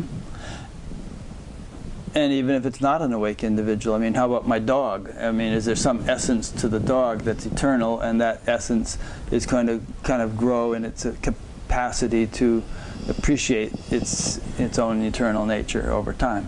I believe that's true. You know, get, going on to a bigger and bigger level, and you know, how do you answer questions? You know, they say the universe will end eventually, but uh, to me, it's like the universe goes to sleep, just like we do at night. We wake up, we don't know what's the next universe or the next one, if there is one. Yeah. Um, where's it? Where's the universe going to go? And actually, my next question uh, ties in with this next question, which is how do I know you're not making all this up? Which is that when you say a thing like that, the individual is eternal and we all go to sleep when the universe dissolves. I mean, is that just something you read in some book, or is, it so, is there some aspect of your personal experience that kind of substantiates that for you? Okay. When you have the experience of pure consciousness, pure consciousness, it's unbounded. And then you and you see the fluctuations of that pure and those fluctuations are also eternal. Those fluctuations are the universe. I can see the universe in those I intuit it and to a certain degree see it. Now, that's that's just my little old consciousness. Um, how is it that I can see that? I know that, that the universe is my consciousness. I can see it. It's an expression of your consciousness. It's an expression of my. Within your it's contained. It's not the other way around. Right. It's the universe is contained within my and yours too, and Right. everybody's. Yeah. Human consciousness is the uh, movement of consciousness, is the wholeness of consciousness, and is the material universe as well. The material universe is also part of that consciousness. Now, once you know that, you see that, you intuit that, um, there's no end to the universe either. There can't be. It, it's eternal. If the absolute exists, then everything is absolute. If I if I exist, then I'm absolute. You can't discount my body or anything and say, well, that's not real. How is it not real if the absolute is everywhere? Well, let's take this piece of paper. Um, you know, it's paper, but it's also the absolute in, in its essence, appearing as paper. And I could take a match to it, and it would be ashes and smoke and gases and Okay. whatnot. But so it no longer exists as paper. It has been converted chemically into other things, which and maybe the atoms themselves haven't been changed. They've just been totally rearranged and dispersed. So it, there's no no localized piece of paper anymore. It's been turned into other things. Every atom in your body was once part of a star. And, you know, uh, Okay, this gets awful abstract. Okay, okay, but I'll just say one thing here. yeah, In terms of pure, unbounded consciousness, which is eternal, even the coming and going of the universe is like that. right. That's all I can say. So Sure. it's coming. Yeah. Am I to Like say that comes light. back again? I don't know. Right. In terms of eternity, even the universe is, is just a fleck of time. Yeah. Okay. I don't know if that answers the question, but It does it- if it's you know. pretty abstract. It's very abstract. yes. Uh, okie dokie. Um, why do so many people not have inner sight? And by inner sight, I guess we mean awakening. Yes. Um, why? Why is that? It's to a person who's gone through these stages from kidhood on. Uh, it seems inconceivable that that um, it isn't recognized more because it just needs to be recognized. Um, even the first stage of uh, pure consciousness, why don't more people have it? My sense is that everybody has it and they don't get it. They're overshadowed. They're looking somewhere else. It's not even, yeah, they're overshadowed, but I don't even find that word appropriate because I think it's there.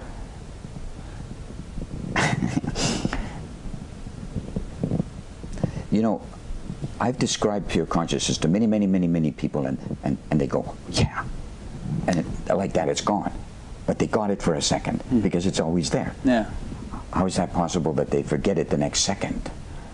But it seems to be.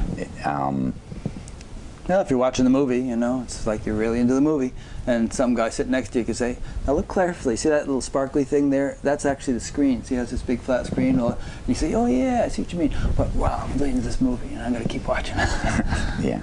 So I don't. I guess that's why we're here on Earth to discover why we're not having the full experience. And some people have it, and they want to pass it on to other people, Yeah. right? Or try to. yeah, and maybe it's the nature of the age that it's rare. It's kind of know. tough, yeah. It's a, it's an intense time we live in. Uh, maybe you know, 100 years, 200 years from now, it'll become more common, and it would seem absurd to have conversations about it almost because it's like everybody experiences it. Could be. Um,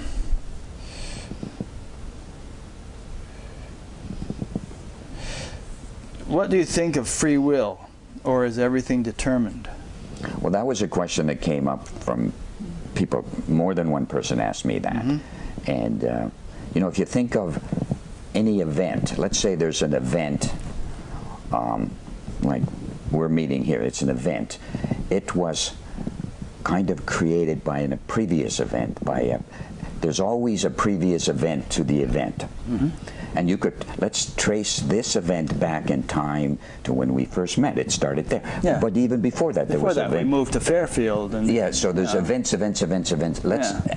we go to the first event. Mm-hmm. That first event is pure consciousness.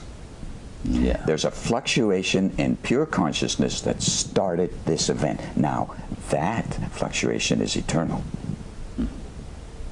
At that point, if you're aware of that first fluctuation of this stream of events, and there's no prior events, at that point, you could say you have free will. You're at the hub of the wheel.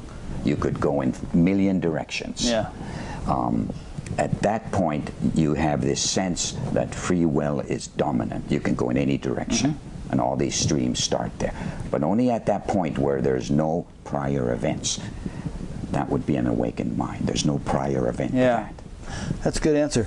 I think the hub of the wheel is a good metaphor. You know, if you're at the hub, you can go down any spoke. Yes. If you're already out on a spoke, you're you're committed Yes, to you, that you can't go to that spoke Right, suddenly. right. Yes, yes. And uh, there's that verse in the Gita which goes something like, uh, "For many branched and endlessly diverse are the intellects of the irresolute, but the resolute intellect is one-pointed." So the resolute intellect is like you're at the hub, you know, and from sitting there, you can move in any direction. You know, you're not sort of already That's right. bound and committed to something that's controlling you. On a more mundane level, you think of it, it all, it all feels like free will, right? Yeah. Hey, I want to move my arm. Yeah. Well, I decided to move that arm, Right. so that feels like free will. decided not to. So I'm enjoying the sense of free will. Mm-hmm. Perhaps it's it's based on previous events, but my enjoyment is of the free will. So that's on a more mundane level. But Yeah. it, that's how we enjoy our lives. We think it's all free will. Yeah. And in- in a sense, if we think it is, how is it different from free will? Yeah, philosophers have debated this one forever, but you know, from a practical, you know, from a practical standpoint, I think the point you brought out is really great. Which you know, a lot of people feel just sort of conditioned and bound, and they're just rolling along, and their life is out of control. But there really isn't, in your experience now, isn't there a real sense sitting at the hub, sitting at the junction, the, the kind of the point at, at, at which all streams of life. Uh, you know, emerge from which they all emerge, isn't there a real sense of sort of being at the master switchboard? Yes. And that there is this kind of freedom, uh, not only in terms of subjective unboundedness, but even freedom in terms of d- decision making. Um, Yes. yeah. And it also feels like thoughts that you have on that level find their fulfillment. Yeah. You- And do they always? They some take time, but they tend to happen.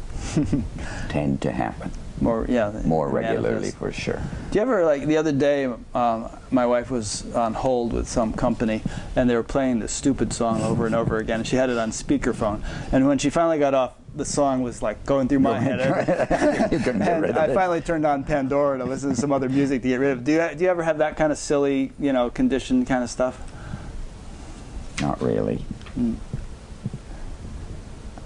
Probably in other ways. Uh-huh. Maybe not with music, yeah. but yeah, that's funny. Um, what more can I do to speed up the process of gaining pure awareness?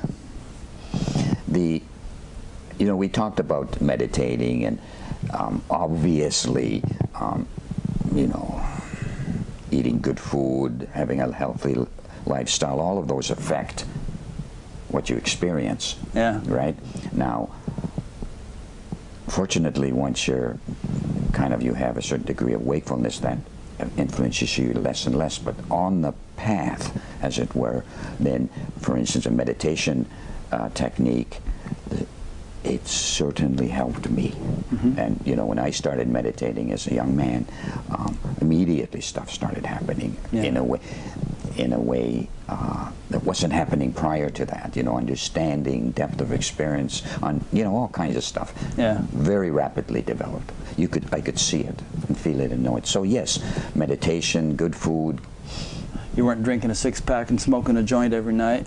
That's right. I that, wasn't. That, that kind of thing helps. I mean, I, I say that facetiously, but I've been in touch with people who are kind of interested. You're in obviously not in Denver. yeah, or Seattle. I've been in touch with people who are interested in spirituality, and and and then you know, but they have a drinking problem, or they're they're doing something which seems to be hampering them, you know, while at the same time, like the elephant analogy. The elephant washes itself off in the river, then it gets out and throws mud on its back again, you know. So uh, obviously, people. Um, we don't want to be lacking in compassion for people who have problems with that sort of thing, but we also don't want to say that there's any um, uh, such things can be uh, accepted as legitimate paths to enlightenment. I I don't know. I'm getting Well, no, you get it. You know, my Yeah. my whole angle is um, understanding, right? Right. I mean, you, you, if you read my blogs or anything else or how I speak, is um, I try to convey my experience and hope that somebody gets something out of that. And invariably, of the some hundreds of people who commented on my uh, last talk, quite a few of them got something, whatever that something was. So Yeah. that's that's what I do. Okay. Um, all right. I think we've pretty much covered all these questions. They're all just sort of variations on Yeah. on the same theme. Um, so just back to some other questions Okay. here. Um, in, in terms of your own experience, did you ever have? Uh, a, I, in, in the last interview, we talked about this experience you had where you were wondering what all this unboundedness was that people were talking about, and then you had the experience of losing it for 10, 15 minutes, and you realized then, and that was horrible, and you realized then that you'd actually had it all your life. And uh, go ahead, you're going to say. Did I ever tell you the experience I had with this this this word bliss? Did I- did I think you told that in the last interview too. Okay, I did that You know, one, People yeah. were saying, you're, you're saying, what is all this? yes, yes. Okay, I got it. Well, but the point that we were making then is Well, the point I was going to ask is, Okay, did you, ahead. other than that 15, 10, 15 minutes, did you ever have a dark night of the soul? You know, any kind of like really difficult time you went through where, uh, you know, the worst period that I uh, went through was in my late teens for about a year or two in my early 20s.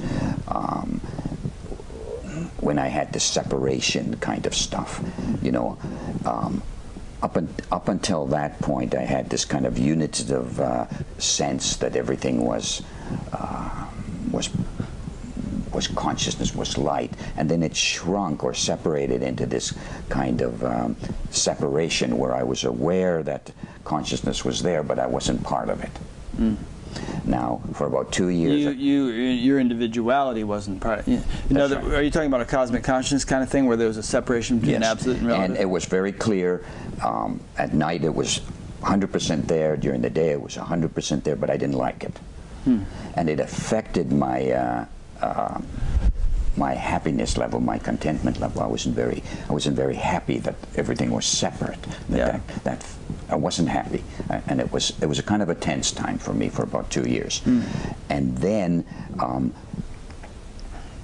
I had some dramatic experiences of a, of a subtle nature that changed that. That would be kind of well, you want to tell us what those were? Might as well. These kind of more divine experiences. So the subtle relative experiences where the um, where I started having, um, along with that witness, that silence, came this more divine level of experience. There was this more um, celestial level of experience until it became so intense that. Uh, that I was almost lost in it, but I wasn't because there was always that uh, that that call it a witness if you like, or pure consciousness uh, was clear enough and big enough and full enough that it didn't disappear, along with this divine experience or these celestial experiences. Um, um, so they were there simultaneously, and so all that that. Um, disturbing separation disappeared. They were close enough. The, the, subtle relative, the, the subtle levels of creation, the heavens, the, the, you know, the beings that exist on those levels were there, along with um, this um, unboundedness. Now, there's an interesting point here. You know, there's a question in here somewhere that says, uh, these divine levels of existence, whether you call them Christian or Vedic or whatever you want to call them, do they have a purpose? You know, most people don't think of them as having a purpose.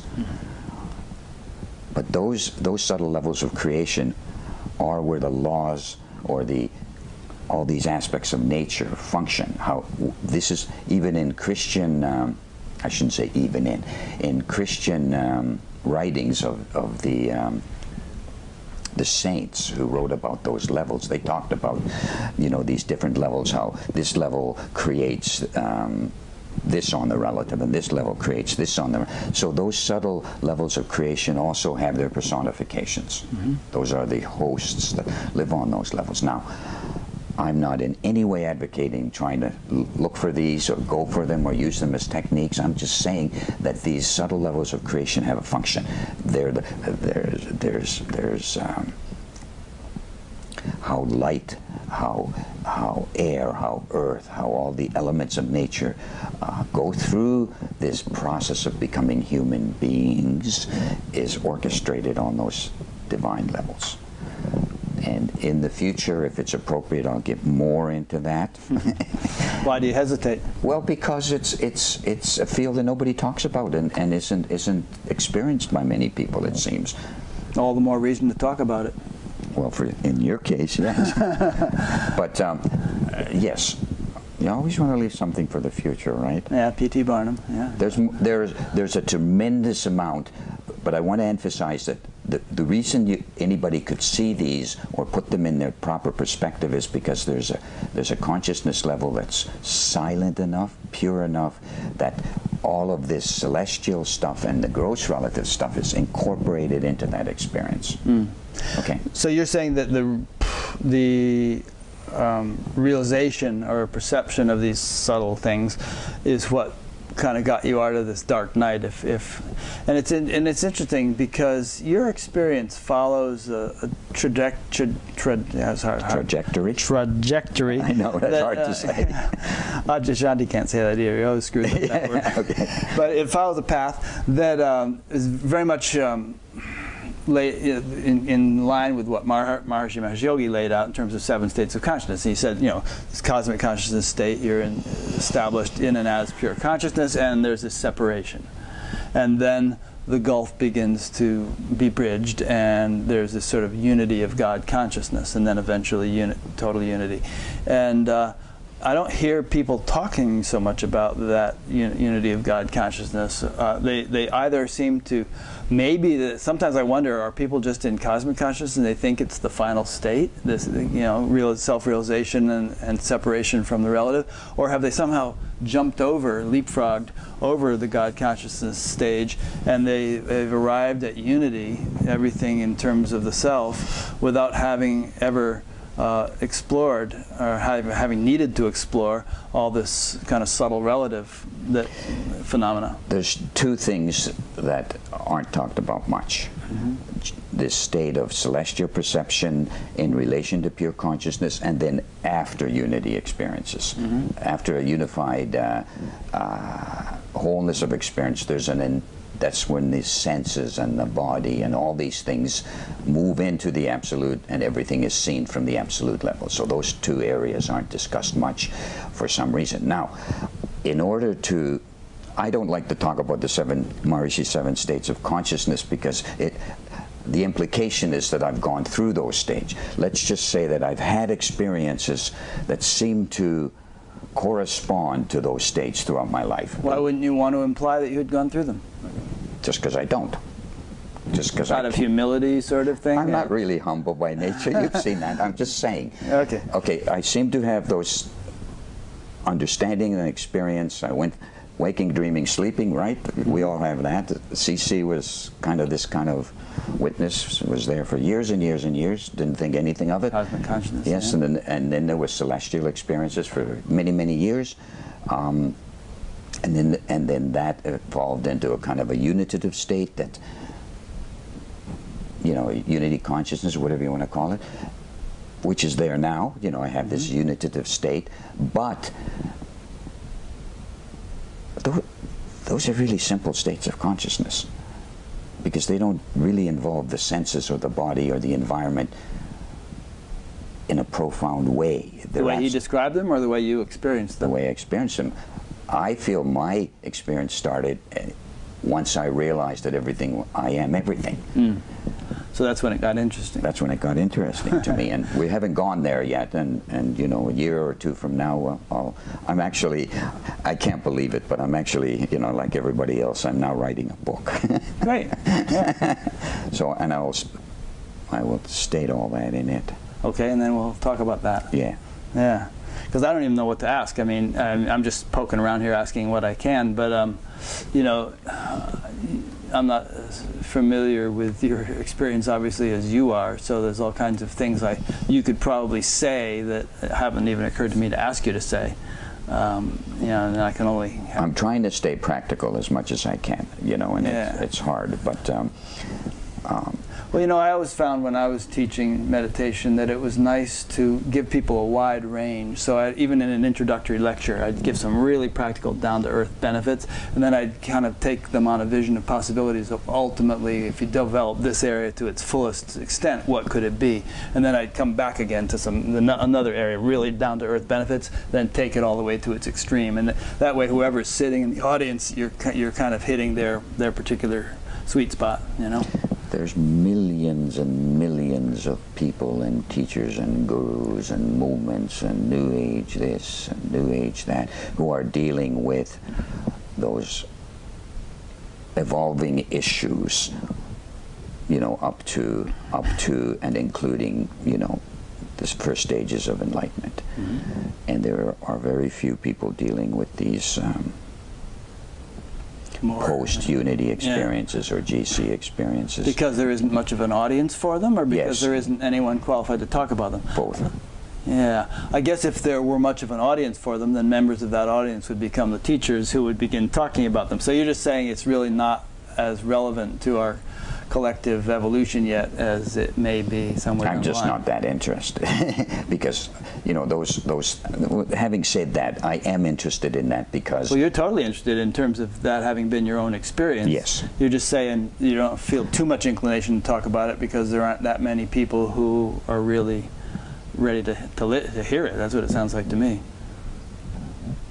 well, But you're a lot more than I thought. I, I didn't expect. Yeah, to and have, you'd be surprised. I, I didn't. mean- I didn't expect to have such a response from you know Yeah. all your. I really didn't. So is your book going to pull any punches, or are you really going to spill? I'm going to say everything. You're going to spill all the beans. Every bean Yeah. that every right. bean that I have. Good luck with that. takes people years to write books, but hopefully you have a fair amount of time to put into well, it. I've I've already probably written 20% of it. Great, great. Okay.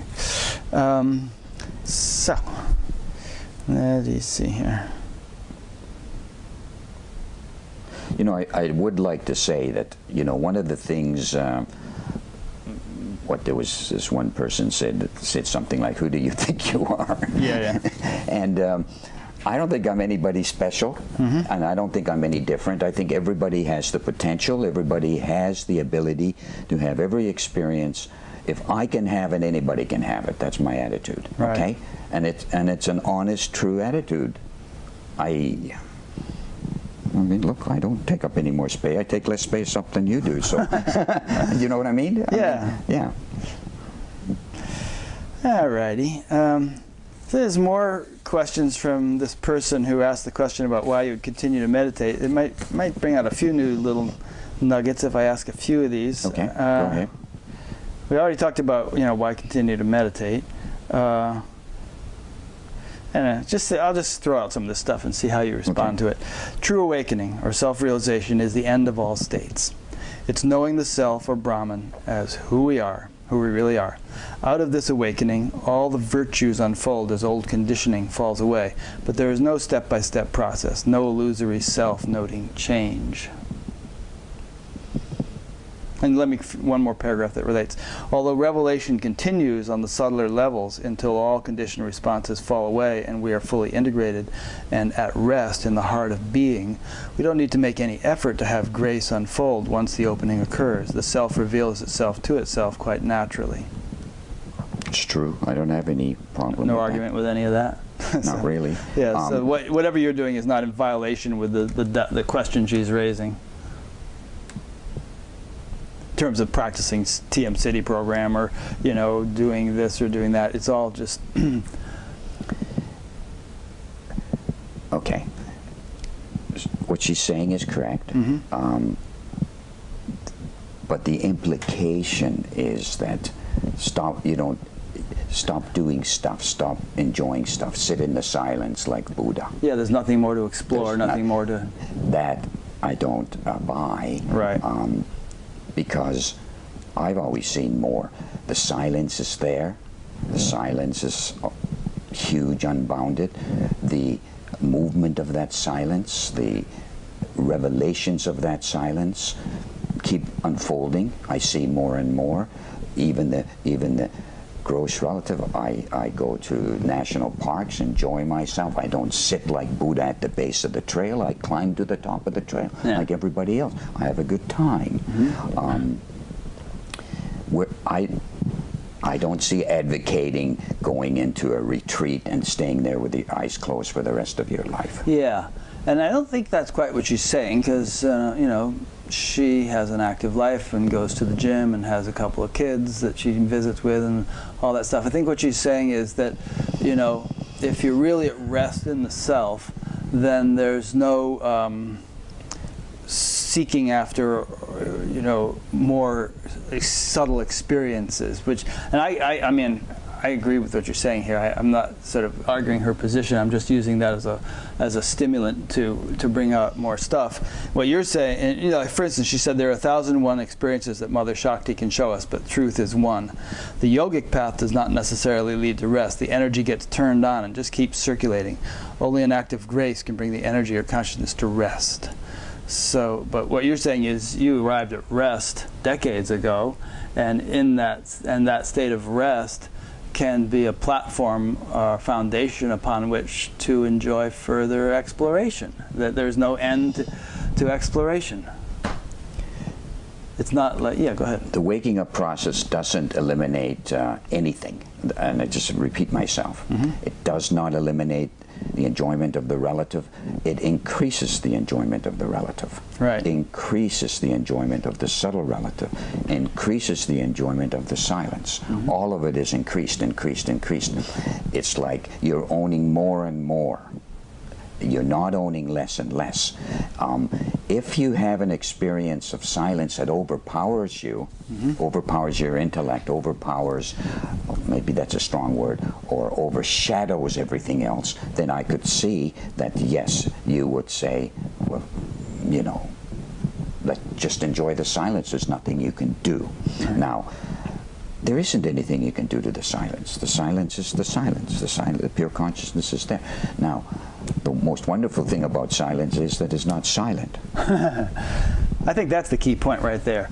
I- I- you know, if silence is nothing but silence, and then you know, once you're established in it, then all this stuff about devas and other experiences, it, it seems like a, a getting away from that pure silence. It's a stirring up of something which you finally had arrived at, and you know, pure silence. Oh boy, you're there. Why stir it up again?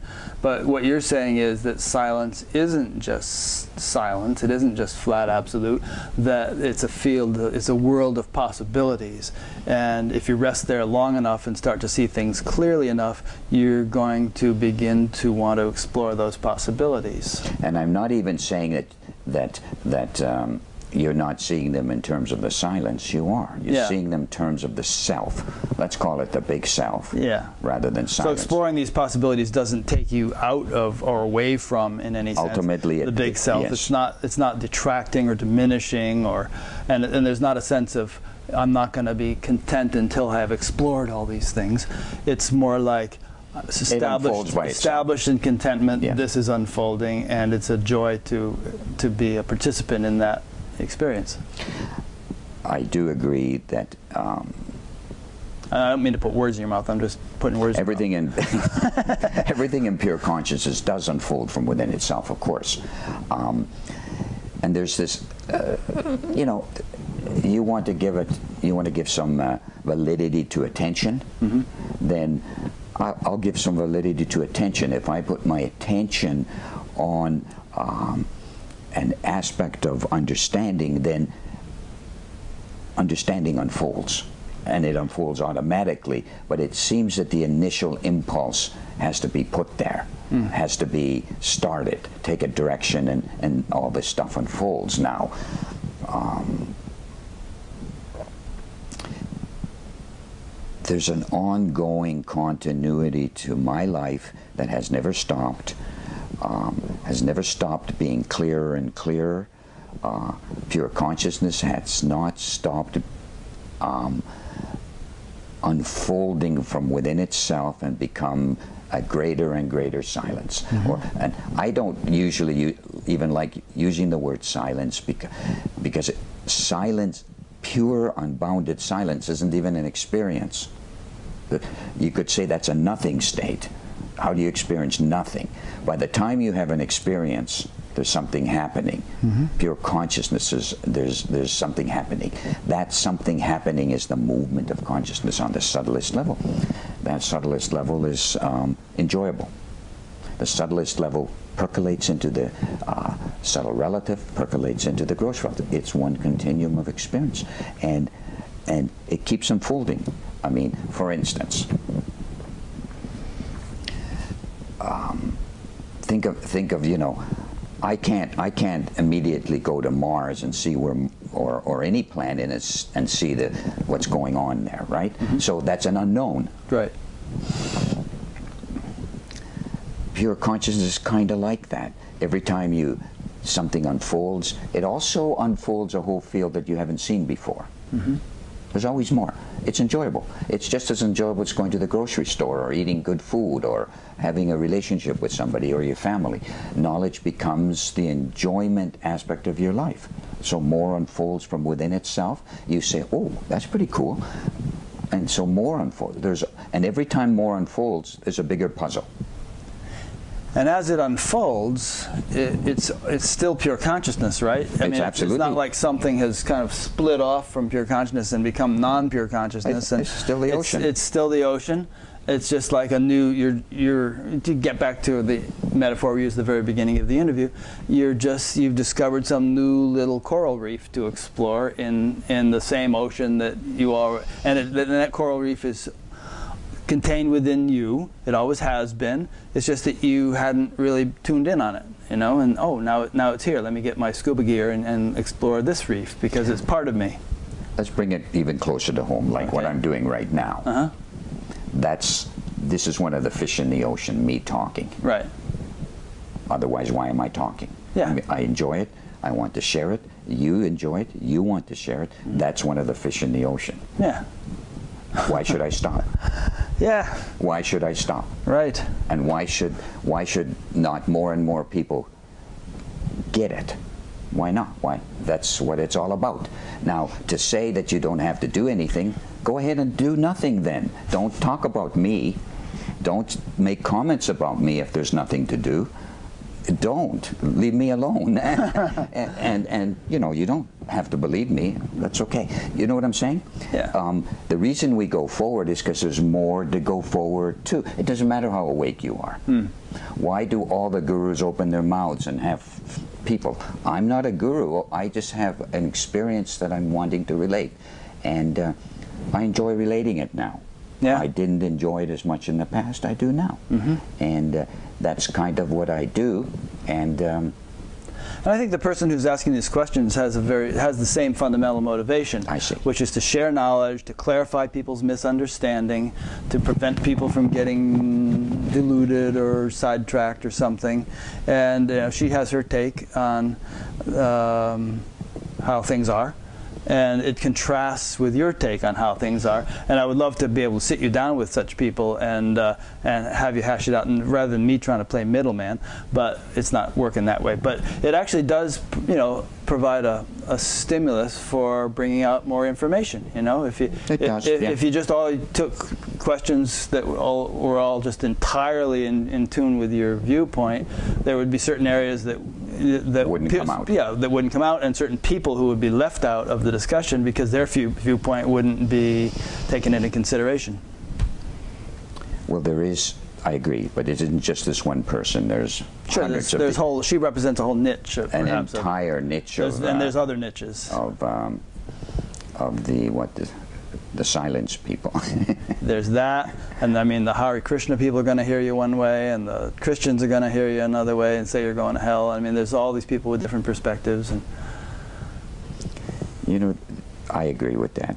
But the people you're going to help are the people who are receptive. It's always like that. And and she, this lady, um, can help the people who are receptive to her. yeah. Right. And uh, I don't and, think. and having you answer her questions can help people too Okay. because if there are people, because there, as you say, there's a whole subcategory, there's a whole niche of people who think a certain way. And personally, what, me as an interviewer, I have a great, I'm in a great position because I, I get exposed to a different perspective every week. Nobody can blame you. yeah. So I love kind of like, uh, you know, having uh, this flavor and this flavor and this flavor and, and just kind of like exploring all these different perspectives. And personally, I think that's a healthy thing. And so, I don't know. I, if you kind of like, it's like the Democrats and Republicans. The, the, the, Democrats are all watching MSNBC. The Republicans are all watching Fox News. So they're they're each in their own bubble, and they don't really kind of like there's there's a, they don't mix much. Yeah, they, there's a divide. They don't mix. They're they're kind of there's a gulf between them. So it's kind of useful, I think, to especially in the spiritual world, to mix it up and to explore different perspectives and and use that as a way of just like what you're saying, exploring. Well, I do broadening the range now, of your hang experience. On. I, I accept their experience. Mm -hmm. They don't accept mine. I expect. The, I totally um, respect the fact that they're talking about pure consciousness. I have that same experience. Mm -hmm. uh, even if I wasn't having the experience that I say I'm having, intellectually, I would hedge my bets and say that everything is included. yeah. Uh, rather than nothing is included. Yeah. I'd hedge my bets and say, God is there, the angels are there, the devas are there, the relative is there, and it's all good. Well, that's kind of what I'm doing because I don't experience all those things, Yeah. but in, intuitively, I, yeah. makes such sense to me. Yes. Uh, and intellectually also. I mean, just understanding how creation works, it's got to sort of be this way that uh, it's almost, I can almost taste it, you know, even though I don't experience it. So, and, and yes, I, d- I, I'm not fond of the word illusion, even though it describes a certain state of consciousness, and, and, it's, and it's clear that um, that elusive quality of the relative is there up until you understand and see it in the self. yeah. If you can a- imagine for one moment, if, if your eyes and your ears are seeing the subtle relative, and there's no gap between the fluctuations of the si- most silent level that is possible for human con- or my consciousness, let's say, to experience, and there's no gap between those fluctuations and the subtle relative, the divine relative, and no gap between the divine relative and the gross, so-called gross relative. What if there was no gap? If you could see that as a continuum, mm-hmm. what would you say that all was? I say it's all consciousness. I say it's all a continuum because that's how I see it. That's how I know it. That's how I hear it. Um, even intellectually, I can't conceive of a state where there's only only unbounded stillness. Right. Now, that unbounded stillness, this is interesting, is does permeate the subtle relative, does permeate the gross relative. So it is all unbounded silence on immovable silence. By immovable, it looks immovable. There is a state, there is a state of nothingness, but you don't have that experience. You kind of intuit that there's this vacuum state somewhere. There's no experience there. By the time you have an experience, there's already, let's call that uh, pure intelligence or pure consciousness. You, it's a self-knowing field. It's kind of a warmed up. Warmed up, yeah. Yeah. that's a good way to put it. And that warmed up field, you can see what, what it is. You can actually see it. You can hear it. You can even touch it. And the reason you can have a sensory experience of pure consciousness is because it's your experience. Ultimately, ultimately, it's your it's your personal experience. How can the absolute be personal? Well, it can be personal because it's an experience. Hmm. If it wasn't an experience, you couldn't have it. Since it is an experience, somebody's having it. That somebody is ultimately seen as a, a physiology as well, ultimately. And as soon as there's a connection to God and the subtle levels, you begin to see it on a more cosmic level. But the individual, the I-ness of the individual is still there and is rediscovered. Maybe, maybe, maybe people lose that I-ness, you know, um, in some states of consciousness, but it's regained. It's regained. Um, if the state of immortality exists, then somebody has to have that state. Otherwise, it's not immortality. Otherwise, it doesn't exist, I guess. does, otherwise, it doesn't exist.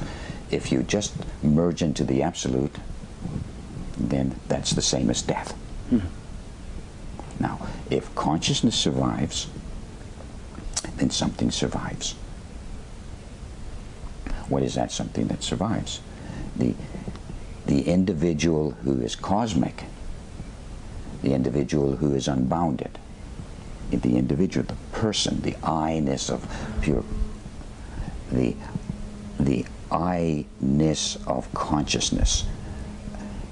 That's kind of interesting because the, because the experience of pure consciousness, the experience of the I at a certain point is universal. It's everywhere. The I is everywhere. Now, to recognize that I as universal and personal at the same time, that's the trick. That's the trick of awareness. That's the hmm. trick of enlightenment. They're there together. There's no difference between the unbounded I and the and the personal I. They're the same thing, hmm. but they're there together. They exist together. And that togetherness of the I, the I is everywhere, but the I is still focused at the center of the wheel, the hub of the wheel. Hmm. So, let's say consciousness starts expanding from this center and goes in all these directions. If the I-ness of the pure consciousness of that first initial experience is seen as the self and it doesn't it doesn't lose itself in the pieces. Let's say that all the pieces of consciousness join each other. They're like a web, right? So the web can get as big as you like, but because all the points in the web are joined, they continue to be pure consciousness. They continue to be wholeness. As a matter of fact, the more of these points, the more of these layers, the more of these uh, even relative phenomena ultimately that you experience, the more they reveal the self, the nowhere. The more they reveal even the silence. It's The kind of world reveals Brahman. the world There's that saying. Yeah, Yeah. yeah. Cool. Well, that was a little far out and abstract for some people, maybe, but it might be a good stopping point. Yeah, I think so. Yeah. So this is good. Um, I just, I guess I'll just make some concluding remarks, and um, you probably don't have any final comments because that was a good one. But if you want to, you can. Okay, I'll, I'll make uh, just one Sure. comment. You know, I do tend to go out there sometimes with, um, Well, that's good stuff. I mean, and I could start probing you on that and all, But- but, but- you know, you know, everything in pure consciousness, everything on these levels, everything has a practical, day to day. The story of my life, my daily life, is the same story as it is on the subtle level. Mm-hmm. It's the same story that is on the absolute. It's one story. And everybody has that story. Everybody has that connectedness. Everybody is uh, the totality of a consciousness. I know that sounds out there, but totality is a simple state. It's not a complicated state. Pure consciousness is a simple state. The subtle relative and the gross relative all tied together. It becomes knowable and becomes simple. It doesn't become more complicated because everything is revealed. No one aspect of consciousness hides any other aspect of consciousness. And if it doesn't hide it, it becomes clear and simple. yeah. There you go. Well, for most people, there's plenty of hiding taking place. You know, many of many layers of obscuration, and so for most people, this will be a long-term for everyone. I'd say it'll be a long-term exploration, never-ending exploration, and uh, you know, um, it's hard to say exactly where any one person is on the whole. You know, It's almost impossible. yeah. Yeah. But wherever one happens to be, keep on trucking. Keep on trucking. because there's yet more to explore. Well, I'd like to thank you for having me again. It's great. I enjoyed it, and and uh, we'll do it again someday. Yep. Okay. It'll be interesting when your book comes out. I bet you it'll sell well. Yeah. So uh, I'll make a few concluding remarks. So I've been interviewing Harri Aalto. Um, Harri and I live in the same town, as you can tell, and uh, this interview has been one in an ongoing series. There are about 240 of them or so now. Um, you can uh, watch them all, not watch them all, but you can investigate to see what ones there might be to watch by going to batgap.com, B A T G A P. And uh, there you will find, under the past interviews menu, you'll find an alphabetical index, a chronological index, and a uh, topical index, uh, uh, categorical, uh, which we're doing our best to sort out. Uh, there's also on future interviews menu, there's a, a list of upcoming interviews. And there's also a page to suggest a guest if you'd like to suggest someone to be interviewed. Um, there on the site you'll also find uh, a donate button, which I appreciate people clicking and need people to click uh, if they can to keep this whole thing going and expand it. Uh, there is a chat group which gets quite lively sometimes around each interview. Each interview has its own theme in the chat group. There is a link to an audio podcast, so you can listen to this, uh, you know, just in audio while you're driving or whatever. And there is a link to sign up to be notified by email each time a new interview is posted, and some other stuff too if you explore around. So thank you for listening and or watching, and we'll see you next week with I believe David Hoffmeister. I think his name is. I think he's a Course in Miracles guy. So we'll talk about that. Okay, thanks. Thank you, Harri. Thank you. It's great. Yep.